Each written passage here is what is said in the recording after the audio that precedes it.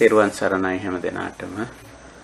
අදත් අපේ සුපුරුදු සදහම් හමුව මේ විදියට පවත්වනවා. අද විවාහාර වර්ෂයෙන් 2020 වර්ෂයේ ජූනි මාසයේ කියන්නේ පොසොන් මාසේ 17 වෙනි බදාද දවස ශ්‍රී ලංකා වේලාවෙන් උදෑසන 6 සිට 8 කාලයේ තමයි අපි මේ දහම් හමුව සඳහා කාලය වෙන් කරගෙන තියෙන්නේ. අපි මාධ්‍ය හැටියට භාවිතා කරන්නේ අන්තර්ජාලයේ ස්කයිප් මාධ්‍යයෙන්. අප මුණ ගැහෙන්නේ? ශ්‍රී ලංකාවේ ඉන්නේ නැත්තොත් ලෝකයේ වෙනත් රටවල ඉන්නේ නැත්තොත් මේ මාධ්‍ය වලින් අපි එකතු වෙනවා.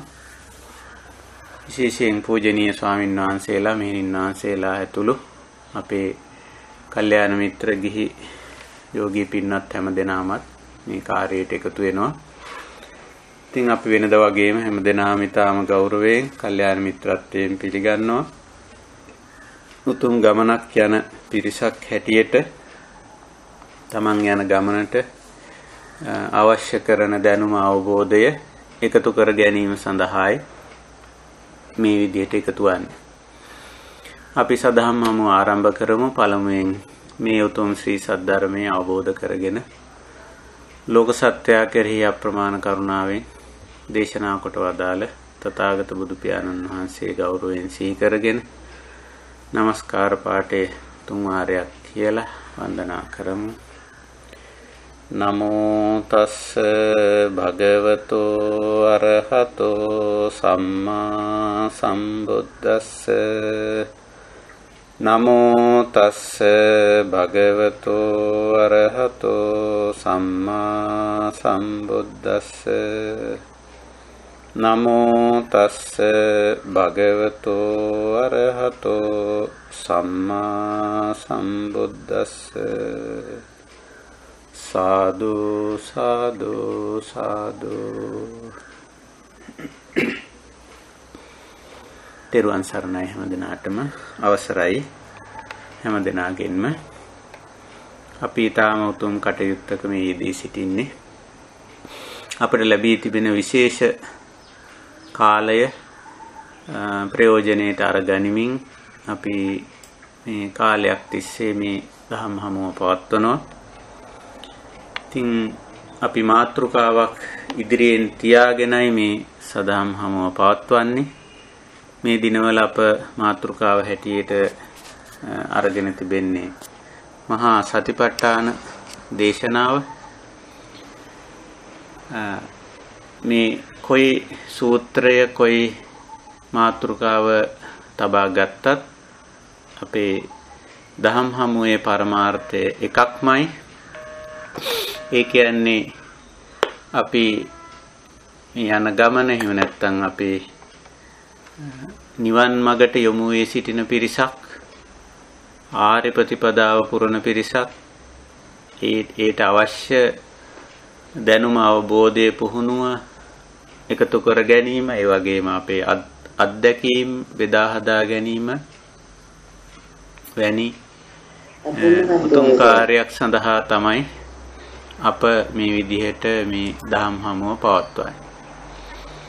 ඉතින් දැනට අපි මේ සාකච්ඡා මාලාවේ සතිමත් බව වැඩිම කියන මාතෘකාව තියාගෙන මහා සතිපට්ඨාන දේශනාව ධර්ම මූලාශ්‍රය හැටියට තියාගෙන අපි මේ සාකච්ඡා මාලාව කරගෙන යනවා. එතකොට මේ වන විට අපි මේ සාකච්ඡාවේ යම් දුරක් මහා සතිපට්ඨාන දේශනාව ඇසුරු කරගෙන සතිමත් බව වැඩිම කියන මාතෘකාවේ යම් දුරක් අප පැමිණ සිටිනවා. විශේෂයෙන් අප මේ පහුගිය සාකච්ඡා තුනේදී අවධානය යොමු කළේ සතිමත් බව පිළිබඳවමයි. සතිමත් බව පිළිබඳවමයි. ඒ කියන්නේ සිහිනුවන වැඩිම කියන කාරණයට අදාළවයි අප මේ සාකච්ඡාව මූලික වශයෙන් සිද්ධ කළේ. ඉතින් අපි බලාපොරොත්තු වෙනවා සූත්‍රයේ ඇසුරෙන්ම තවත් ඉදිරියට මේ සාකච්ඡාව කරගෙන යන්න මම කැමති අද ඉස්සර වෙලාම මේ අප මෙතෙක් කළ සාකච්ඡාවට අදාළව සාරාංශයක් කරන්න මේ සතිමත් බව පිළිබඳව කිසියම් සාරාංශයක් ඉදිරිපත් කරන්න. එතකොට අපි සතිමත් බව පිළිබඳව තමයි මූලික අවධානය යොමු කළේ. සතිමත් බව කිව්වම අපි දැන් දන්නවා එහි ගුණාංග තුනක් මූලික වශයෙන් අන්තර්ගත කරලා තියෙනවා සතිපට්ඨාන දේශනාවට අනුව pāli වචනෙන් කිව්වොත් සම්පජානෝ සතිමා ආතාපි සතිමා සම්පජානෝ ආතාපි කියන වචන තුන යෙදිලා තියෙන්නේ. එතකොට සතිමා කිව්වම දැන් අපි දන්නවා ඒ අවදිමත් බව කියලා. වර්තමාන මොහොතේ දැන් මම කොතනද දැන් මම කවුද දැන් මම මොනවද කරමින් ඉන්නේ කියලා මේ වර්තමානයේට පවත්ව ගන්න අවදිමත් බව මේක උපට්ඨිත කියන වචනේ ඉදිලා තියෙනවා. ප ဋ ාණ උපට්ඨිත වගේ වචන ඉදිලා තියෙනවා pāli භාෂාවෙන්. දැන් සතිපට්ඨාන දේශනාවේ නමක් තියෙන්නේ සතිපට්ඨාන කියලා. ඒතකොට ප ဋ ාණ තවත් බොහෝ තැන්වල තියෙන්නේ උපට්ඨිත කියන වචනේ. එතකොට ඒ දෙකම යෙදිලා තියෙනවා. එළඹ සිටි සිහිය කියන අදහස. අවදිමත් බව දැනුවත් බව වර්තමාන මොහොතේ ඉතින් මේ අවදිමත් බව දැනුවත් බව ඇත්ත වශයෙන් පවත්වා ගන්නේ හරියටම බැලුවොත් තමන් පිළිබඳව මේක බැලුව බැලමට බාහිර දෙයක් පිළිබඳව කියලා හිතෙන්නත් පුළුවන් මොකද අපි මේක විස්තර කරනකොට පැහැදිලි කරනකොට කියන්නේ ඇහැට පේන දේ කනට ඇහෙන දේ නාසයට දිවට කයට දැනෙන දේ මනසට වැටහෙන දේ වර්තමාන මොහොතේ ඒ දේ ගැනයි අවදිමත් බව පවත්වන්නේ කියලා. ඉතින් බැලූ බැල්මට බාහිර දෙයක් වගේ නිකන් හිතෙනවා. නමුත් ඒ බාහිර දේ පිළිබඳ තමන් මේ පේන මොහොතේ තමන් මේ කොයි විදිහට ක්‍රියා කරනවද?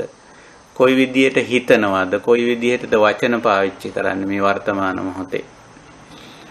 ඉතින් ඒක තමයි යතන අවදිමත් බව කියලා කියන්නේ. තමන් පිළිබඳ අවදිමත් බව ඇත්ත වශයෙන් අර ඉතින් අවදි විය යුත්තේ අර වගේ අර අර ඉන්ද්‍රියාරම්මන ඇති විට තමයි. ඒ කියන්නේ යමක් පෙනෙද්දි යමක් ඇහෙද්දි යමක් දැනෙද්දි යමක් වැටහෙද්දි තමයි ඔය කියන සිතිවිල්ල මතුවෙන්නේ වචනය ක්‍රියාත්මක වෙන්නේ වචනය ප්‍රකාශ වෙන්නේ ඒ වගේම යම් ක්‍රියාවක් ක්‍රියාවත් වෙන්නේ ක්‍රියාත්මක වෙන්නේ ඒ වගේ අවස්ථාවක තමයි. ඉතින් ඒ විදිහේ බැලූ බැල්මට බාහිර දෙයක් වගේ පෙනුනට මේ බාහිර ආරම්මණයෙද්දි බාහිර අරමුණු එද්දි තමන් ගැන සෝදිසිමත් බව තමයි තමන් ගැන අවදිමත් බව තමයි තියාගන්නේ. ඉතින් ඒ වගේම සතිමා කියන වට අමතරව සම්පජානෝ කියන ගුණය අපි කතා කළා දැන් සතිපට්ඨාන දේශනාවේ අපි සම්පජාන පබ්බයත් කතා කළා පහුගිය අවස්ථාවේ. ඉතින් එතන තියෙන්නේ සෝදිසිමත් බව සුපරීක්ෂාකාරී ගතිය මෙය හරිද වැරදිද යෝග්‍යද අයෝග්‍යද කළ යුතුද නොකළ යුතුද දිගටම කළ යුතුද නතර කළ යුතුද මේක Tamanට හිත පිනිස පවතිනවද අනුන්ට හිත පිනිස පවතිනවද අහිත පිනිස පවතිනවද කියලා අර ආචාර ධර්මීය පදනම ඇසුරෙන් කරන සෝදිසිමත් බව. දැන් සෝදිසිය කියන එක විවිධ විදිහට කෙරෙනවා. pāli භාෂාවෙන් ඒක පරිේෂණ කියන වචනේත් එදිලා තියෙනවා. නමුත් බුදුදහමේ සෝදිසිමත් බව ප්‍රධාන වශයෙන් තියාගන්නේ ආචාර ධර්මීය අංශේ. යම් කිසි දෙයක් ගැන අපි සෝදිසිමත් වෙන්නේ මේක යුක්ති සහගතද අයුක්ති සහගතද? මේක කත්තබ්බයක්ද අකත්තබ්බය කළ යුත්තක්ද නොකළ යුත්තක්ද? මේක සදාචාරමයකද දුරාචාරමයද කියලා. ඒ දේ දෙයන්සේ පිළිබඳව තමයි අපි සෝදිසිමත් බව නිතරම තියාගන්නේ එතකොට අපි මේ මුල් කමටහන් තුනේ සෝදිසිමත් බව අපිට තියාගන්න වෙනවා මූලික වශයෙන්ම අර ඉරියාපත පබ්බේ ඉඳලා. මොකද ඉරියව්වක් පවත්වනකොට තමයි අපි යතා යතාවා කායෝ පනිහිතෝ තතා තතානම් පජානාති කියලා යම් යම් ආකාරයෙන් කායික ඉරියව් පවත්වනවද ඒ ගැන සෝදිසිමත් වෙන්න. අපේ එතින් දිකට වගකීම් සහගත වෙනවා. Tamanට පවක් අකුසලයක් නොවෙන්න අනිත් අයට කරදරයක් හිංසාවක් පීඩාවක් නොවෙන්න අපි මේ ජීවත් වන පරිසරයට සමස්ත ජීවජීව පද්ධතියටම අයහපතක් නොවෙන්න පුළුවන් උපරිම වශයෙන් අවංකව උපරිම වශයෙන් වග වෙනවා. මේක 100ට 100ක් වග වෙන්න පුළුවන්ද කියලා අපිට කියන්න බෑ. නමුත් මෙතන අවංක භාවයේ තියාගෙන උපරිම වශයෙන් වග වෙනෝ අහිතක් නොවන. ඉතින් ඒකයි ඔය හැම කමඨහනකම අග බුදුරජාණන් වහන්සේ යම් කොටසක් පොදු කොටසක් දේශනා කරනවා මේ ඉති අජ්ජත්තං වා මෙසේ තමා වශයෙන් සැලකිල්ලට ගන්නවා. තමන් පිළිබඳව සැලකිල්ලට ගන්න තමන් පිළිබඳ අවබෝධය ඇති කර ගන්නවා. ඊළඟට බහිද්දාවා බාහිරය පිළිබඳවත් සැලකිල්ලට ගන්න. ඊළඟට අජ්ජත්ත බහිද්දාවා තමා වශයෙන් විතරක් අනුන් වශයෙන් විතරක් බලන්නේ නැතුව තමන් අනුන් ඇතුළු සමස්තය තමයි අර තුන්වෙනි පියවරේදී කියන්නේ. අජ්ජත් බහිද්දාවා කියලා සමස්තේම සැලකිල්ලට ගන්නවා. යන්න එතන තමයි අර අර කරුණාව, මෛත්‍රිය වගේ දේවල් සම්බන්ධ වෙන්නේ එතෙන්ට තමයි. දැන් අපි ওই කරුණා මෛත්‍රී ගුණ ගැන වෙන වෙනම කතා කරනවනේ ඒ කරුණා භාවනා, මෛත්‍රී භාවනා ආදී වශයෙන් ඒවා පුරුදු පුහුණු කරගෙන තියෙනවනේ. එතකොට අර සම්පජානකාරී ගුණය ඇතුලේ සෝදිසිමත් බව, සුපරික්ෂාකාරී බව තියාගෙන නිතරම අවංකව උත්සාහවන්ත වෙනවා තමන්ගේ කායික ක්‍රියාව, තමන්ගේ වචන භාවිතය, තමන්ගේ සිතුම් පැතුම් රටාව තමන්ට අනුන්ට ආයහපතක් නොවන විදිහට පවත්ව ගන්න. එතන තමයි අර ඒ ඒ සඳහා තමයි අර සම්පජානකාරී වෙන්නේ. සෝදිසිමත් බව තියාගන්න නිතරම මම දැන් කොතනද? හරි තැනද ඉන්නේ? නසුදුසු තැනක. මම දැන් කවුද? මගේ භූමිකාව තුලද ඉන්නේ? එයින් පිටද මම දැන් මොනවද කරන්නේ? මම දැන් හරි දෙයක්ද වැරදි දෙයක්ද කරන්නේ කියලා. ඉතින් නිතරම දැනුනොත් Taman ඒ නිසි තැන නැහැ, නිසි භූමිකාවේ නැහැ, නිසි හැසිරීමේ නැහැ කියලා එතනින්දි වහාම අර ඉදිරිපත් කරගන්නේ අපි කරුණාව මෛත්‍රිය තමයි. එහෙම නැත්නම් දුක් වීම, කනගාටු වීම, කාට හරි දොස් පැවරීම වගේ දේ වගේ අකුසල් වලට අපි යන්නේ නැහැ.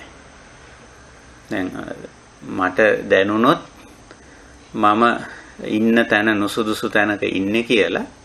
ඉතින් මම ඒකේ ආදීනව හිතනු මෙතන මේ මේ විදිහට හිටියොත් මට අයහපතක් වෙනවා තව කෙනෙකුට අයහපතක් වෙනවා. ඒක නිසා මම මෙතනින් ඉවත් වෙනවා. ඒක තමයි මිත්‍රත්වය කියලා කියන්නේ. මෛත්‍රිය කියන්නේ ඒක තමයි කරුණාව කියන්නේ. මෛත්‍රිය කරුණාව අපිට අදාළ වෙන්නේ අන්න එතන. එතන තමයි ක්‍රියාත්මක වෙන්නේ මෛත්‍රිය. ඒක තමයි කරුණාව ක්‍රියාත්මක වෙන්නේ. තමන් කරන යම්කිසි කායික ක්‍රියාවක් තමන්ට අහිත පිනිස පවතිනවා අනුන්ට අහිත පිනිස පවතිනවා කියලා වැටහුණු ගමම්ම ඒක තේරෙනවා අපි සතිමත් වුණාම එහෙම කෙරෙනවනම් වහාම ඒක නතර කරගන්න. එතන වීරිය යොදනවා. ඒ වගේම අර හැඟීම එතන තියෙන්නේ කරුණාව සහ මෛත්‍රිය. තමන් කෙරෙහි කරුණාව. මම මේ අයහපත් දේ කළොත් ඒකෙන් මට අයහපතක් වෙනවා. ඒ මට විතරක් නෙවෙයි අනිත් එක්කෙනාටත් ඒකෙන් අයහපතක් වෙනවා. ඒක නිසා ඒ අයහපතක් අයහපතින් වලකා වලකා ගැනීමේ චේතනාවට නෙවෙයි කරුණා කියලා කියන්නේ. කරුණා චේතනාව විස්තර කරන්නේත් පරදුක්කේ සති සාධූනං හදේ කම්පනං කරෝති इति කරුණා වශයෙන් විස්තර වෙන්නේ. එතකොට අර තමන් ගැන තමන් සෝදිසිමත් වුණාම තමන්ටම තේරෙනවා තමන් අහිත පිනිස හේතු වෙන යම් දෙයක යෙදී සිටිනවා කියලා. වහාම තමන් එයින් ගලවා ගැනීමේ සහ අනිකායෙන් ගලවා ගැනීමේ චේතනාවෙන් තමයි අර තමන් නිවැරදි වෙන්නේ. එතෙන් එතෙන්දී අර ආතාපි කියන ගුණය එතෙන්දී භාවිත වෙනවා. ආතාපි කියන්නේ වීරියවන්ත උත්සාහවන්ත වීම කියලා. එතකොට බලන්න මේ සතිය සහ විමසුම් නොවන සතිමා සම්පජානෝ මේක පවත්වනකොටම අර අනිත් අපේ කුසලතා එතෙන්ට කිට්ටු කිට්ටු වෙනවා නැත්නම් ඒ ආධාර වෙනවා පරිස්කාර වෙනවා ඉතින් ওই විදිහට අපි නිවැරදි තැනට එන්න අපි වැරදි භාවිතයක වැරදි තැනක වැරදි සිතවිල්ලක වැරදි සාගත වචනයක ඉන්නවා කියලා දැනුනොත් නිවැරදි වෙන්නේ අපි කරුණාවෙන් මෛත්‍රී. ඉතින් එතකොට අපි අපිට දොස් කියාගන්නෙත් නැහැ වෙන කෙනෙකුට දොස් පවරන්නෙත් නැහැ. අපිම කරුණා මෛත්‍රී සාගතව අපි නිවැරදි වෙනවා. ඉතින් හරීම මෘදුයි මේක. ගොක්ක අය නිවැරදි වෙන්න ගියාම හරි රළු වෙනවා, ගොරෝසු වෙනවා. එක්කෝ කෙනෙක්ගේ වරදක් නිවැරදි කරගන්න නිවැරදි කරගන්න ගියාම තමන්ගේ එකක් නිවැරදි කරගන්න ගියාම ඉතින් අනුන්ට දොස් පවරන සමහර වෙලාවට. මම මේ මේ මේක කෙරුවේ මේ අහවලා නිසා. මම මේ මේ මේ විදියට මං කේන්ති ගත්තේ මං රණ්ඩු කරගත්තේ හරි මම මොනවා හරි වැරද්දක් කරපුවා මේක කෙරුවේ අහවලා නිසා කියලා. එයා එහෙම කෙරුවේ නැත්තම් මං එහෙම කරන්නෙත් නෑ කියලා. ඉතින් අර වරදේ තමන් කර වරදේ ඒක අනිකා මත පටව. පටවල ඉතින් කොහොම හරි අනිත් එක්කෙනා වැරදි කාර්යයක් කරන්න බලන. ඉතින් ඒක ආර්ය ගතිය නෙවෙයි. ඒක අනාර්ය ගතිය. එහෙම නැත්තම් Tamanට චෝදනා කරගන්න තමන් දුක් වෙනවා. පසුතැවෙනවා කනගාටු වෙනවා. මම මේ මේ වරද කරා නේද? මේ මේ මං වැරදිකාරයෙක් නේද ආදී වශයෙන් කියලා. මම පවකාරය මම වැරදිකාරය ආදී වශයෙන් කියලා පසුතැවෙනවා ඒකත් ආර්ය ගතිය නෙවෙයි අනාර්යයි ඒක ඒ දෙකම අපි අතහැරලා මෙතන ප්‍රමාදයක් වුණා අතපසු වීමක් වුණා. මේක නිවැරදි කළ යුත්තක්. මේක නිවැරදි නොකළොත් මට අයහපතක් වෙනවා, අනිකාට අයහපතක් වෙනවා. තමා කෙරෙහි කරුණාවෙන් අනිකා කෙරෙහි කරුණාවෙන් මේ වරද නිවැරදි කරගන්න. ඉතින් මේ සති ප ဋ ාණය අපිට උගන්වන්නේ බුදුරජාණන් වහන්සේ ඔන්න ඔය කාරණේට. ඉතින් මේක සාමාන්‍ය ප්‍රායෝගික ජීවිතය තුල සිද්ධ වෙන්න ඕන දෙයක්. ඉතින් මේ ආනාපාන සති පිළිබඳ පහුගිය ඊයේ දවසේ හුඟක් අය මා සමග කතා කළා. ඉතින් ඒ ඇත්තන්ට මම කියපු එක උදාහරණයක් මම මෙතෙන්දි කියන්න කැමතියි. මම ඒ ඒ මේ සති සතිය පවත්වා ගැනීමේ අවශ්‍යතාවය කුමක්ද? එයින් අපි බලාපොරොත්තු වෙන්නේ කුමක්ද කියන කාරණේ පිළිබඳ මම ඉදිරිපත් කරපු සරල උදාහරණයක් සහ ප්‍රායෝගික උදාහරණයක්. හැම දිනාගෙම අවබෝධය පිණිස මම කියන්න කැමතියි. මම මේක මං හිතන්නේ යම් කෙනෙකුට කිව්වා මේ උදාහරණේ මාත් එක්ක ඊයේ සාකච්ඡා කරපු කෙනෙකුට උදාහරණය මෙහිමයි දැන් අපි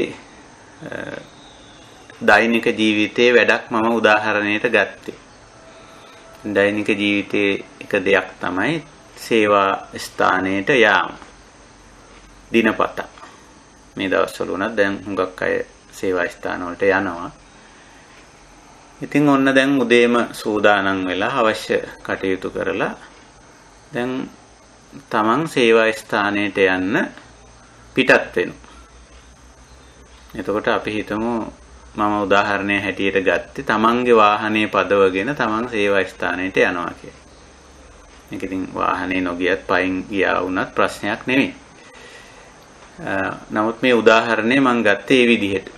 දැන් තමන්ගේ වාහනේ පදවගෙන දැන් වාහනේට නැගලා ඔන්න දැන් ස්ටාර්ට් කරගෙන ඉදිරියට යනවා. දැන් ඔන්න මූලික දේ මොකද්ද? සේවා ස්ථානයට යාම. එතකොට දැන් මූල කර්මස්ථානය කියලා අපි ඕකට කියනවා භාවනා භාෂාවෙන්. මූලික දේ සේවා ස්ථානයට යෑම. එතකොට මුළු මුළු ගමන තුලම තමන් සතිය පවත්වා ගන්නවා. මේ ගමන සමහරට පැය භාගයක් ගත වෙයි නැත්නම් පැයක් ගත වෙයි. මුලැමැදාග මේ ගමනේ සිහිය තියාගෙන මම සේවා ස්ථානයට යනවා කියන සිහියෙන් ගමන් කරනවා. ඔය අතර සිද්ධ වෙන දේවල් ගැන සතිමත් බව තියාගන්නවා. ඔන්න දැන් මුලින්ම වාහනේට ගොඩ වුණා. වාහනේ ස්ටාර්ට් කරලා දැන් ඉදිරියට යනවා. යනකොට තමන්ගේ නිවසේ ගේට්ටුව වහලා තියෙන්නේ. තමන්ගේ ගෙදර නිවසේ ගේට්ටුව වහලා තියෙන. තාම මේ වත්ත ඇතුලේ ඉන්නේ. එතකොට දැන් මොකද කරන්නේ? එතකොට දැන් ඔන්න පළවෙනි බාධකය නැත්තම් අපි බාධකය හරි බාධක කියන්නේ අපි කියන්නේ යම් සිද්ධියකට මුහුණ දුන්නා. තමන්ගේ නිවසේ ගේට්ටුව වහලා.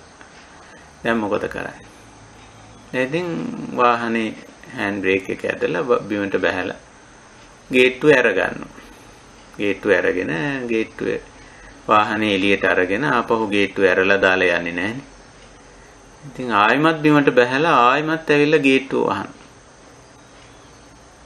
දැන් ඔතෙන්දී මොකද්ද Taman පවත්ව ගන්න ඕන සතිමත් බව. තමහර විට කෙනෙක් ওই අවස්ථාවේ ටිකක් නුරුස්නා ගතියක් හරි ඇති වෙන්න පුළුවන්. ඔය ගේට්ටුව ඇයි මන්ට මේ ගේට්ටුව ඇරලා තියන්න බැරිද මේක ආදි වශයෙන් කියලා. එහෙම එකක් නැහැ. අපිට ගේට්ටුව අරින්න කවුරුවත් බැඳී හිටලා නැහැනේ. අපි ඉතින් ගේට්ටුව අරගන්නවා. එහෙමනේ. ගේට්ටුවක් ඇරියයින් පස්සේ තමන්ගේ ගෙදර හරි සේවා ස්ථානයේ හරි කොහේ හරි ඇරියොත් කඩුල්ල ඇරියොත් ඒක වහන්න යුතුයකමක් තියෙනවා. එතකොට ඒ දෙක ගැන එතන සතිය පවත්වන්න. මං වෙනුවෙන් ගේට්ටුව අරින්න කවුරුවත් කාටවත් වගකීම සමහර සේවා ස්ථානවල එහෙම ගේට් කීපර් කෙනෙක් ඉන්නවා. නමුත් එයා නැතත් මම ඒක අරගෙන යන්න ඕනේ. මම ඇරියනම් මට යුතුයකමක් තියෙනවනේ වහන්න. එන ඒක කරලා යන්න එතන සතිය එතන පවත්වන. එතන මූල කර්මස්ථානේ මූලික සිහිය අර සේවා ස්ථානෙට යන්නේ. හැබැයි පළමුවෙනි සිද්ධියට මුහුණ දෙනවා. එතන සතිය පවත්වන. එතන අය සිහියෙන් වැඩ නොකරොත් එහෙම එතන එතන ගැටලුවක්, එතන රණ්ඩුවක්, එතන හිත නරක කර ගැනීමක් ඇති වෙනවා. අපි එහෙම කරන්නේ එතන බොහොම හොඳට සතිය පවත්වන. ඊට පස්සේ දැන් ඉතින් ගේට්ටුව වහලා තමන් ආපහු වාහනේට නැගලා දැන් ඉදිරියට යනවා. දැන් පාරේ යන්නේ. දැන් රෝ එකේ ඉස්සරහින් පස්සෙන් වාහන යනවා තමනුත් මැද වාහනේ පදවගෙන යනවා. අපි හිතමු ඔහ යනකොට ඉදිරියෙන් යන එක්කෙනා දකුණට සිග්නල් එක දාන. දකුණට හරවනවා කියලා. දැන් මොකද? දැන් තමන්ගේ ගමන ප්‍රමාද කරගන්න වෙනවා ටිකක්. තමන්ට සිද්ධ වෙනවා. බ්‍රේක් එක පාගගෙන අඩු කරගෙන ගියර් එක මාරු කරගෙන තමන් ආපු වේගය අඩාල කරගන්න අඩු කරගන්න වෙනවා. සමහර විට ටික වෙලාවක් දකුණට සිග්නල් දාපු එක්කෙනාගේ පිටිපස්සෙන් නවත්තගෙන ඉන්නත් වෙනවා. එයා හැරිලා දකුණට යනකම්. ඉතින් ඉඳලා එයා හැරිලා ගියයින් පස්සේ නැවත තමන් ගේ ගමන තමන් ඉස්සරහට යනවා. දැන් එතනත් තවත් සිද්ධියක්. තමන්ගේ ගමන ටිකක් ප්‍රමාද වුණා. ඉස්සරහින් යන කෙනාගේ අවශ්‍යතාවය නිසා ඉතින් ඒකත් ස්වභාවිකයිනේ. එතනත් ඒක ගැන සතිමත් වෙනවා. නැවතත් දැන් තමන් තමන්ගේ ගමන යන මූල කර්මස්ථානයේ රැඳී සිටිනවා. දිගටම ඉස්සරහට යනවා. ඉතින් ඔහොම යනකොට ඔන්න හතරමං හන්දියට ආපුවාම එතන කලර් ලයිට්ස් තියෙනවා. ඒව රතු පාට වෙලා තියෙන්නේ. දැන් මොකද කරන්නේ? දැන් ඉතින් නතර වෙලා ඉන්නේ. එතන කවුන්ට් ඩවුන් වෙනවා. අපි හිතමු තප්පර 60ක් 70ක්. තප්පර 80ක් තියෙනවා කියලා. ඉතින් තප්පර 80 වාහනේ නතර කරගෙන ඉන්න වෙනවා. එන්ජින් එක නතර නොකළත් සමහර විට බ්‍රේක් එක පාගෙන එහෙම නැත්නම් ක්ලච් එක පාගෙන ගියර් එක මාරු කරගෙන ඉන්නවා. එතන ඉන්නම ඕනනේ. Tamange ගමන යම් කාලයකට අඩාල වෙන. හැබැයි එතන සිහිනුවණින් ඉන්නවා. හැබැයි මේ කාර්යාලයට සේවා ස්ථානයට යන ගමන. එතනත් එහෙම ඉඳලා එතනත් සිහිනුවණන් එතන ගැටලුවක් ඇති කරගන්නේ අකුසල් සිතක් පහල කරගන්නේ ওই අවස්ථා තුනේදී. අර ගේට්ටුව ළඟදිවත් දකුණට සිග්නල් දාපු වෙලාවෙවත් එහෙම නැත්නම් කලර් ලයිට්ස් ළඟදිවත් එහෙම වෙන්නේ එතනත් සිහිනුවණින් ඒ අවස්ථාව පසු කරන්න පුළුවන්. හැබැයි බලපුවහම පොඩ්ඩක් ගමන අඩාලයි. කොළපාටපත් වෙලා තිබුණා නම් ඉතින් ගියර් මාරු කරන්න ඕනේ නැහැ, බ්‍රේක් කරන්න ඕනේ නැහැ, ක්ලච් කරන්න ඕනේ නැහැ. දිගටම යන්න පුළුවන්. නමුත් ඉතින් රතු පාට වැටිලා තියෙනවා. ඔහොම අපේ ජීවිතේ රතු පාට වැටෙන වෙලාවල් තියෙනවා. ගේට්ටුව හපු වෙලාවල් තියෙනවා. අපිත් එක්ක යන අය මේ දකුණට හරි වමට හරි සිග්නල් දාන වෙලාවල් තියෙනවා. දැන් මම මේ කියන කාරණේ තේරෙන්න ඕන. මේ සතිය මොකටද පවත්ව ගන්න කියලා. ඉතින් අපි හිතාගෙන ඉන්නේ අපේ ජීවිතේට ඕනම වෙලාවක අපි වාහනේ එළියට අරගෙන බැස්සම ගේට්ටුව ඇරලා තියෙන්න ඕන කියලානේ අපි සාමාන්‍යයෙන් හිතන්නේ. එහෙමයි හිතන්නේ. සාමාන්‍ය අසුතව පුතුජන මට්ටමේදී හිතන්නේ එහෙමයි. දැන් ඉතින් ආර්ය ශාවක වුණාම එහෙම හිතන්නේ නැහැ. ගේට්ටුව ඇරලා තියන්න ඇරලා තියෙන්න ඕනේ කියලා. ගේට්ටුව වහලා ඉතින්. එහෙමයි ස්වභාවය. සමහර වෙලාවට අපිත් එක්ක යන අය කොයි පැත්තට හිටී ගමන් සිග්නල් දායිද දන්නේ ඉස්සරහින් යන්නේ අපිත් එක්ක යන අය. අපි ඕවර්ටේක් කරන්නත් යනවා සමහර අය ඒ ඇස්සේ. පිටිපස්සෙන් ඇවිල්ලා හෝන් කර කර කර කර අපි ඕවර්ටේක් කරන්නත් උත්සාහ කරනවා. ඉස්සරහින් යන අයත් හිටී ගමන් බ්‍රේක් කරනවා, හිටී ගමන් වමට දකුණට සිග්නල් දානවා. ඉතින් අපිට ලොකු සතියක් පවත්වා ගන්න ඕනනේ. එහෙමනේ. තනියෙන් පාරේ යනව නෙවෙයිනේ. මේ ජීවන ගමන ගැන මේ කියන්නේ. ඉතින් ඔහොම වෙනවා. ඒ අතර අපිට ඉතින් හතරමං හන්දි හමු වෙනවනේ. ඉතින් ඒ තැන්වල ටිකක් නවතින්න වෙනවා. කලර් ලයිට් සමහර වෙලාවට ඉතින් කොළ පාටට තියෙනවා සමහර වෙලාවට රතු පාටට තියෙනවා. ඉතින් රතු පාට වුණොත් ඉතින් නතර වෙන්න වෙනවනේ. යන්න බෑනේ. එහෙම අවස්ථාවල් උදා වෙනවා. ඉතින් කොහොම හරි කලර් ලයිට්ස් කොළ පාට වුණාම දැන් ආපහු යනවා. ඉදිරියට යනවා. කොහෙද යන්නේ?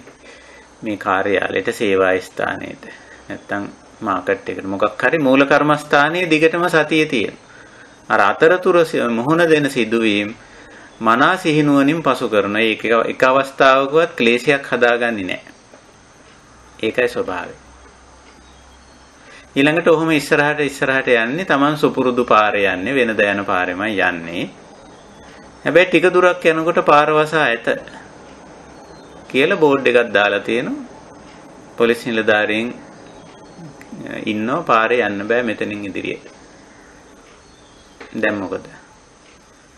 දැන් ඉතින් වෙනද ගිය පාරේ යන්න බෑ. විකල්ප මාර්ගයක් තෝරගෙන කාර්යාලයට සේවා ස්ථානයට හෝ වෙළඳ පොළට යන්න වෙනවා. දැන් එතනේ එතනත් ওই ක්ලේශයක් හැදෙන්න පුළුවන් අවස්ථාවක්. එතෙන්දිත් අපි සිහිනුවන උපද්දගෙන ආ එහෙනම් මොකද්ද විකල්ප මාර්ගය? කාර්යාලයට යන සේවා ස්ථානයට යන. ඉතින් අපි විකල්ප මාර්ගය තෝරගෙන යනවා. ගිහිල්ලා කාර්යාලයට අපි යනවා. කාර්යාලයට නොගිහින් ඉන්නේ නැහැ. ඒ කියන්නේ අපි මූල කර්මස්ථානයේ රැඳී සිටිනවා. දැන් ආනාපාන සතිය, ඉරියාපත සතිය, සම්පජඤ්ඤ සතිය තුන එකතු කරලා ගන්න උදාහරණයක් මම මේ කියන්නේ. එතකොට ආනාපාන සතියේ ඉන්නවා වෙන්න පුළුවන් අපි. වාඩි වෙලා පරියන්කේ ඉන්නවා වෙන්න පුළුවන්. එතකොට මුළු පැයම හරි පැය භාගයේ හරි විනාඩි 45 හරි හොඳට හුස්මට අවධානය තියාගෙන බාධාවක් නැතුව හිටියොත් ඒක නිකන් හරියට අපි කාර්යාලයට යන්න පිටත් වුණාම ගේට්ටුවත් ඇරලා අපිත් එක්ක යන අය කවුරුවත් පාරේ යනකොට කවුරුවත් අපි ඕවර්ටේක් කරෙත් නැහැ දකුණට වමට සිග්නල් දැම්මෙත් නැහැ කලර් ලයිට්ස් කොළ පාටෙන් පත්තු වෙලා තිබුණා පාර වසායත කියලා බෝඩ් එකක් තිබුණේ නැහැ අපි බොහොම පහසුවෙන් කාර්යාලයට ආවා ඉතින් හරි සන්තෝසයි. කල් කල් ඇතුව ඇවිල්ලා මොකද අනිත් අයත් අහනවා වෙනදට වැඩිය කලින් මොකද? අද ඉතින් මොකුත් පාරේ ප්‍රශ්නයක් නැහැ, බාධාවක් නැහැ, ට්‍රැෆික් නැහැ. ආවා කියන. ඉතින් එහෙම අවස්ථාවක් තියෙනවා. නමුත් අර වගේ විනාඩි 5ක් පරක්කු වෙලා ගේට්ටුවත් වහලා තිබුණා තමන්මයි ගේට්ටුව අරගත්තේ පාරේ ට්‍රැෆික් එක එහෙම මෙහෙන් ඕවර්ටේක් කරනවා වමට දකුණට සිග්නල් දානවා කලර් ලයිට්ස් ඕෆ් වෙලා පාර වසා ඇත විකල්ප මාර්ගයක් හොයාගෙන ඔහොම එනකොට ඉතින් විනාඩි 5ක් 10ක් පරක්කු වෙලා. අනිත් ඇත්ත අහන මොකද ලේට්? මොකද පරක්කු ඔය දෙකම වෙන්න පුළුවන්. හැබැයි ඔය දෙකේම දෙකේම ආර්ය ශ්‍රාවකයාට ප්‍රශ්නයක් නැහැ. සිහිනුවන දිනු කරපු එක්කෙනාට සති සම්පජඤ්ඤේ තියෙන කෙනාට ප්‍රශ්නයක් නැහැ. මොකද ඔය දෙකම වෙන්න පුළුවන්. දෙකම වෙන්න පුළුවන්. එතකොට අපි නිතරම වර්තමාන මොහොතේ සිහිනුවන පැවැත්වුව නම් ඔය මතුවලා එන සංසිද්ධිය අපිට ගැටලුවක්. හැබැයි සිහිනුවන නැති අය ඔය හැම තැනකදීම එන පොඩි පොඩි බාධා බාධා කියන්නේ අපි ඔවට අපි දැන් කියන්නේ භාවනාවේ ඉන්නකොට ඇති වෙන සංසිද්ධි කියලා. ආනාපාන සති භාවනාවේ ඉන්නකොට පරියංකේ ඉන්නකොට ওই වගේ සිද්ධි වෙන්න පුළුවන්. වේදනා ඉන්න පුළුවන් වේදනා කැක්කුම්. එහෙම නැත්නම් සද්ද ඇහෙන්න පුළුවන්. සමහර විට ගඳක් සුවඳක් වටපිටාවෙන් හමාගෙන ගියොත් ඒක දැනෙන්න පුළුවන්. එහෙම නැත්නම් සිතවිල්ලක් එන්න පුළුවන්. ওই වගේ දේවල් එන්න පුළුවන් අර ඔෆිස් එකට යනකොට කාර්යාලයට යනකොට වෙළඳ පොළට යනකොට අර මගදි සිද්ධි ටික වගේ. එතන අපි සිද්ධි හතරක් කියවනේ. ඒ වගේ සිද්ධි වෙන්න පුළුවන්. ඒකට සිද්ධි වලදිත් සතිය පවත්වන. හැබැයි මූල කර්මස්ථානයේ දිගටම ඉන්නවා. අර සිද්ධියට తాවකාලිකව සතිය මාරු කරලා එතන සිහිනුවණින් ක්‍රියාත්මක වෙනවා. එහෙම නැත්නම් අර මුගදෙනෙක් අර සිද්ධිය අවස්ථාවේ ඔන්න හිත කලබල කරගන්න, ඔන්න ක්ලේශය උපද්ද ගන්න. ඔන්න භාවනාව කැඩුනා කියලා හිතනවා. කැඩෙන්නේ නැහැ. භාවනාව කැඩෙන්නේ. ඒ සති ගුණය දිගටම යනවා. සති ගුණය දිගටම යනවා. ආනාපානයට වාඩි වුණා නම් පැයක් අපිට මුළු පැයම සතිය පවත්වන්න පුළුවන්. හැබැයි ওই පැය ඇතුලේ කකුල දිග ඇරලා නමලා. මොකද අර කකුලේ වේදනාව ආව නිසා. සද්දයක් ඇහිලා සද්ද කීපයක් ඇහිලා. ගෙදර අය මොන හරි වැඩක යෙදිලා ඉන්නවා හරි නැත්නම් අවට පිටේ කුරුල්ලෝ කෑ ගහනවා හරි වාහන පාරේ යනවා. ඉතින් සද්ද ඇහිලා. හැබැයි ඒ ගැන සතිමත්. සතිය කැඩිලා නැහැ. ඒ සද්දය ඇහුණා සද්දේ බව දැනගත්තා ආපහු හුස්මට අවධානය තියාගන්න කකුල රිදුණා කකුල රිදෙනවා. ඒක දරා ගන්න අමාරුයි කියන බව දැනගත්තා. කකුල පොඩ්ඩක් දිගෑරියා නැත්තම් නැමුවා. ඉරියව්ව පහසු කරගත්තා ආපහු හුස්මට අවධානය තියාගන්න මේවා මෙහෙම වෙනවයි කියලා තරහ ගන්න අමනාප වෙන්නේ නැහැ කනගාටු වෙන්නේ ওই විදිහට. ඉතින් ඒ විදිහට දිගටම යනවා. සමහර විට ඔය අතරේ නැගිටින්නත් වෙන්න පුළුවන්. අපි හිතමු කවුරු හරි ඇවිල්ලා බෙල් එක ගහනවා කියලා. කැඳවීමක් කරනවා කියලා. එහෙම නැත්නම් gedara කෙනෙක්ම කැඳවීමක් කරනවා කියලා. ඒගොල්ලොන්ට අමතක වෙනවා මේ අපි භාවනා කර කර ඉන්නවා කියන එක ඒගොල්ලොන්ට අමතක වෙලා කතා කරනවා. මොකක් හරි දෙයක. ඉතින් ඒ ප්‍රශ්නයක් නැහැ. ඉතින් සිහියෙන් නැගිටලා ගිහිල්ලා අයි කතා කළේ. ඉතින් මේ මේ මේ මේ මේ දේ තමයි එයාගේ මම මේ භාවනා කර කර හිටියේ. ආ එහෙනම් සෝරි ඔයා ගිහිල්ලා ඒක කරන්න කිව්වා. ඉතින් අපි ආපහු වෙලා අපේ කාර්යය කරමු. එහෙම නැත්නම් ඒ තැනැත්තාගේ අපිව කැඳවූ තැනැත්තාගේ අවශ්‍යතාවය ඉෂ්ට කරලා දීලා ඒක සිහියෙන් කරන්නේ. සිහිනුවණින්. අර කරුණාව මෛත්‍රිය දැන් ඒ හැමතැනම තියෙනවා ඒ ටික. ආයි දැන් කලබල වෙන්නේ තරහ ගන්න අමනාප වෙන්නේ අපි දන්නවා ඒවා හේතුඵල ධර්මානුකූල ඒවා සිද්ධ වෙන්න පුළුවන් කියලා. ඉතින් ඒක ඉෂ්ට කරලා දීලා ආපහු වෙන. එවිලා ආයෙමත් වාඩි වෙලා ආයෙ හුස්මට අවධානය යොමු කරගන්න. ඉතින් අතරතුර වැඩ කීපයක් වෙලා මූල කර්මස්ථානයෙන් පිටට යන්න වෙලා අපිට. පිටට යනවමයි. ඒක ඉතින් අපි හිතන්න හොඳ නෑ මුළු පැයම සම්පූර්ණ හුස්මට අවධානය යොමු කරගෙන චිත්ත ඒකාග්‍රතාවයේ එක දිගටම තියාගෙන එහෙම ඉන්න පුළුවන් වෙයි කියලා. එහෙම ඉන්න පුළුවන් නම් ඉතින් එහෙම ඉන්න ලැබුණොත් පුළුවන් නම් නෙවෙයි එහෙම ඉන්න ලැබුණොත් හොඳයි. ඒක ලැබුණොත් අපි මේ විදිහට ඉන්නවා. නමුත් නොලැබෙන්න පුළුවන්. අපිට සතිය උගන්වන්නේ ඔන්න ඔය නොලැබෙන අවස්ථාවට මුහුණ දෙන්නයි බුදු පියාණන් අර මුළු පෑයම සාන්තව සංසුන්ව තැම්පත් හිත එකඟ වෙලා පානාපානය සංසුන් වෙලා මහා අමුතු සුවයකින් ඉන්න අවස්ථාව. ඒක අපි හඳුන්වන්නේ සතියටත් වැඩිය ආනාපානයෙන් එන සමාධිය කියලා. ආනාපාන සමාධිය. බුදුරජාණන් වහන්සේ ආනාපානය උගන්වන්නේ ආනාපාන සමාධියට නෙමෙයි. ආනාපාන සතියට. අර මූල කර්මස්ථානයේ ඉන්න අතරේ එහිම දිගටම රැඳී සිටීමත් කරනවා. ඒ අතර මතුවලා එන්නා වූ සංසිද්ධි ඕනම දෙයකට යෝගියට මොන දෙන්න පුළුවන්. සද්ද වේදනා සිතිවිලි එහෙම නැත්තම් ටික වෙලාවකට ආනාපාන සතිය නතර කරලා නැගිටලා යන්න වෙන්නේ. හරියට අර කලලයිස් ළඟ නතරම කරන්න වෙනවනේ. යන්නම බෑ නේද? එතනින් එහාට. ඉතින් නවත්ත ගන්න වෙනවා එතන. ඉතින් ආනාපාන සතියට වාඩි වුණා එතන නවත්ත ගන්න. හැබැයි සිහියේ. එතන නවත්තන්න වුණා නැගිටින්න වුණා කියලා එහෙම ක්ලේශයක් උපද්ද ගන්නෑ. එතන විනාඩි කිහිපයක් නැගිටලා යනවා. ගෙදර කෙනෙක් කැඳෙව්වේ. ආමන්ත්‍රණය කරේ. එහෙම නැත්තම් බෙල් එක ගැහුවා. මොකක් හරි. එහෙම වෙන්න පුළුවන්. එහෙම නැත්තම් දොරක් වදින ඒක වහලා නැහැ. ඉතින් නැගිටලා ගිහිල්ලා ඒක වහලා එන්න. මේ මේ මූලික අවධානය පරිමුඛං සතින් උපට්ඨපෙත්වා අපිට මතකයි දේශනාවේ තියෙන්නේ එහෙමයි. මූලික අවධානය මූලික වශයෙන් තියාගන්න අපි කරන කාර්යය. හැබැයි ඒ අතර ඒ කාර්යයේ මුල මැද අග සිහියෙන් යෙදී සිටින අතරතුර යම් යම් සංසිද්ධි වෙනවා. අපි ඕවට බාධා කියන්නේ නැහැ දැන්. සිදුවීම් කියලා අපි කියන්නේ. හේතුඵල ධර්මානුකූලව සිදුවීම්. අර කාර්යාලයට යද්දි ඔෆිස් එකට යද්දි අර අපි දැන් කියපු අර සිදුවීම් මේවා ඒවා බාධා නෙමෙයි. ගේට්ටුව වසා තිබීම ස්වභාවිකයි. ඕනෑම කෙනෙක් ඉතින් හවසට ගේට්ටුව වහනවා උදේට එළියට යනවා නම් තමයි ආයෙ හරි. ඒක ස්වභාවිකයි. පාරේ ඔක්කොමලා පාරේ යනකොට ඉතින් සමහරව ඕවර්ටේක් කරන්න උත්සාහ කරනවා. සමහරු දකුණට වමට සිග්නල් දාන ඒ හරි ස්වභාවිකයි. ඒ බාධා නෙවෙයි. ඒතකොට පාරේ හතරමං හන්දිවල හෝ දෙමං සන්දිවල හෝ තුන්මං හන්දිවල වර්ණ සංඥා තිබීම ස්වභාවිකයි. ඒවා වැටෙනවා.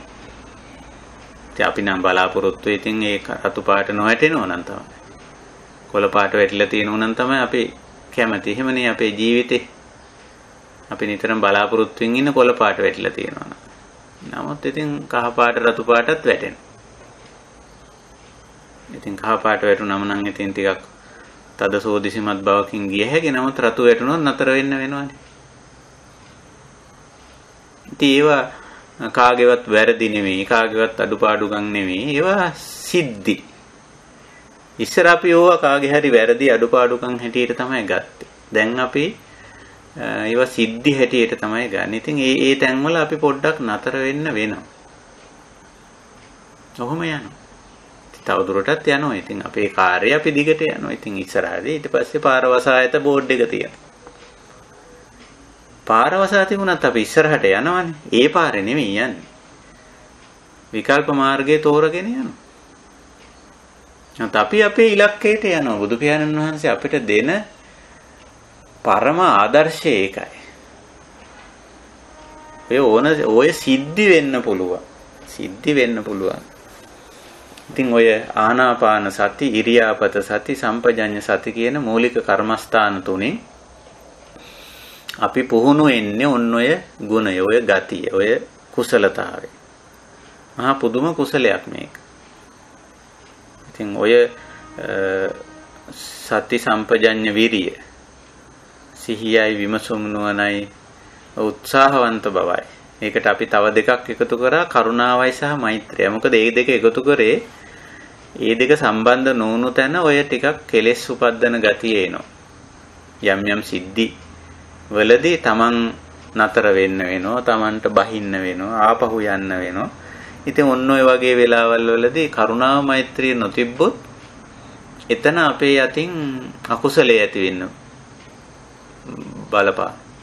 ඒ නිසා මේකට අපි කිට්ටු කරගන්න ඕන ඒ දෙකයි. කරුණාව මෛත්‍රිය මම මෙතන බහින්න ඕන. මම මෙතන පොඩ්ඩක් බ්‍රේක් කරගන්න ඕන. මම මෙතන පොඩ්ඩක් නතර වෙන්න ඕන. මම මෙතෙන්දි පොඩ්ඩක් ආපහු හැරෙන්න ඕන. ඒ වගේ අවස්ථාවලනේ කෙලෙස් ඇති වෙන්නේ. එහෙම නැතුව මේ සිද්ධීන් බාධාකාරී කියලා අපි ඒකට දැන්ට පාවිච්චි කරමු නිකමට. බාධාකාරී සිදුවීම් සිදු යන්නේ නැතිනම් කෙලෙස් උපදින්න අවශ්‍යතාවයක් නැහැ. කෙලෙස් උපදින්නේ නැහැ. බාධාකාරී යම් පිච්ඡං නලබති. තම්පි දුක්ඛංනේ. එතන යම් කිසි දුෂ්කරතාවයකට මුහුණ දෙන්න. එතකොට තමයි මේ සතිමත් බව සිහිනුවන වීර්ය අවශ්‍ය වෙන්නේ. එතකොට ඒ අවස්ථාවේදී තමයි ක්ලේශය උපදින්නේ. ඉතින් ඒ අවස්ථාවේ ක්ලේශය උපද්දන්නේ නැත්තම් ඉතින් අපි නිදහස්. අපි මිදිලා එතන තමයි විමුක්තිය ලබන්නේ. එතන තමයි නිවන් දකින්නේ. එතන තමයි නිවන. අවශ්‍ය වෙන්නේ. අපි හිතන්නේ මේ නිවන මේ ජීවිතේත් නෙවෙයි මේ ජීවිතේ පස්සේ ලබන එකක් නෑ අර නිවන ලැබෙන්නේ නිවෙන නිවුණු සැනසුණු කෙනෙක් වෙන්න ඕන අර ගේට්ටුව වහලා තියෙන වෙලාවට. දැන් වාහනේට නැගලා වාහනේ ස්ටාර්ට් කරගෙන ඉස්සරහට යනවා. ගේට්ටුව වහලා. එතෙන්දිනේ පත්තු වෙන්නේ.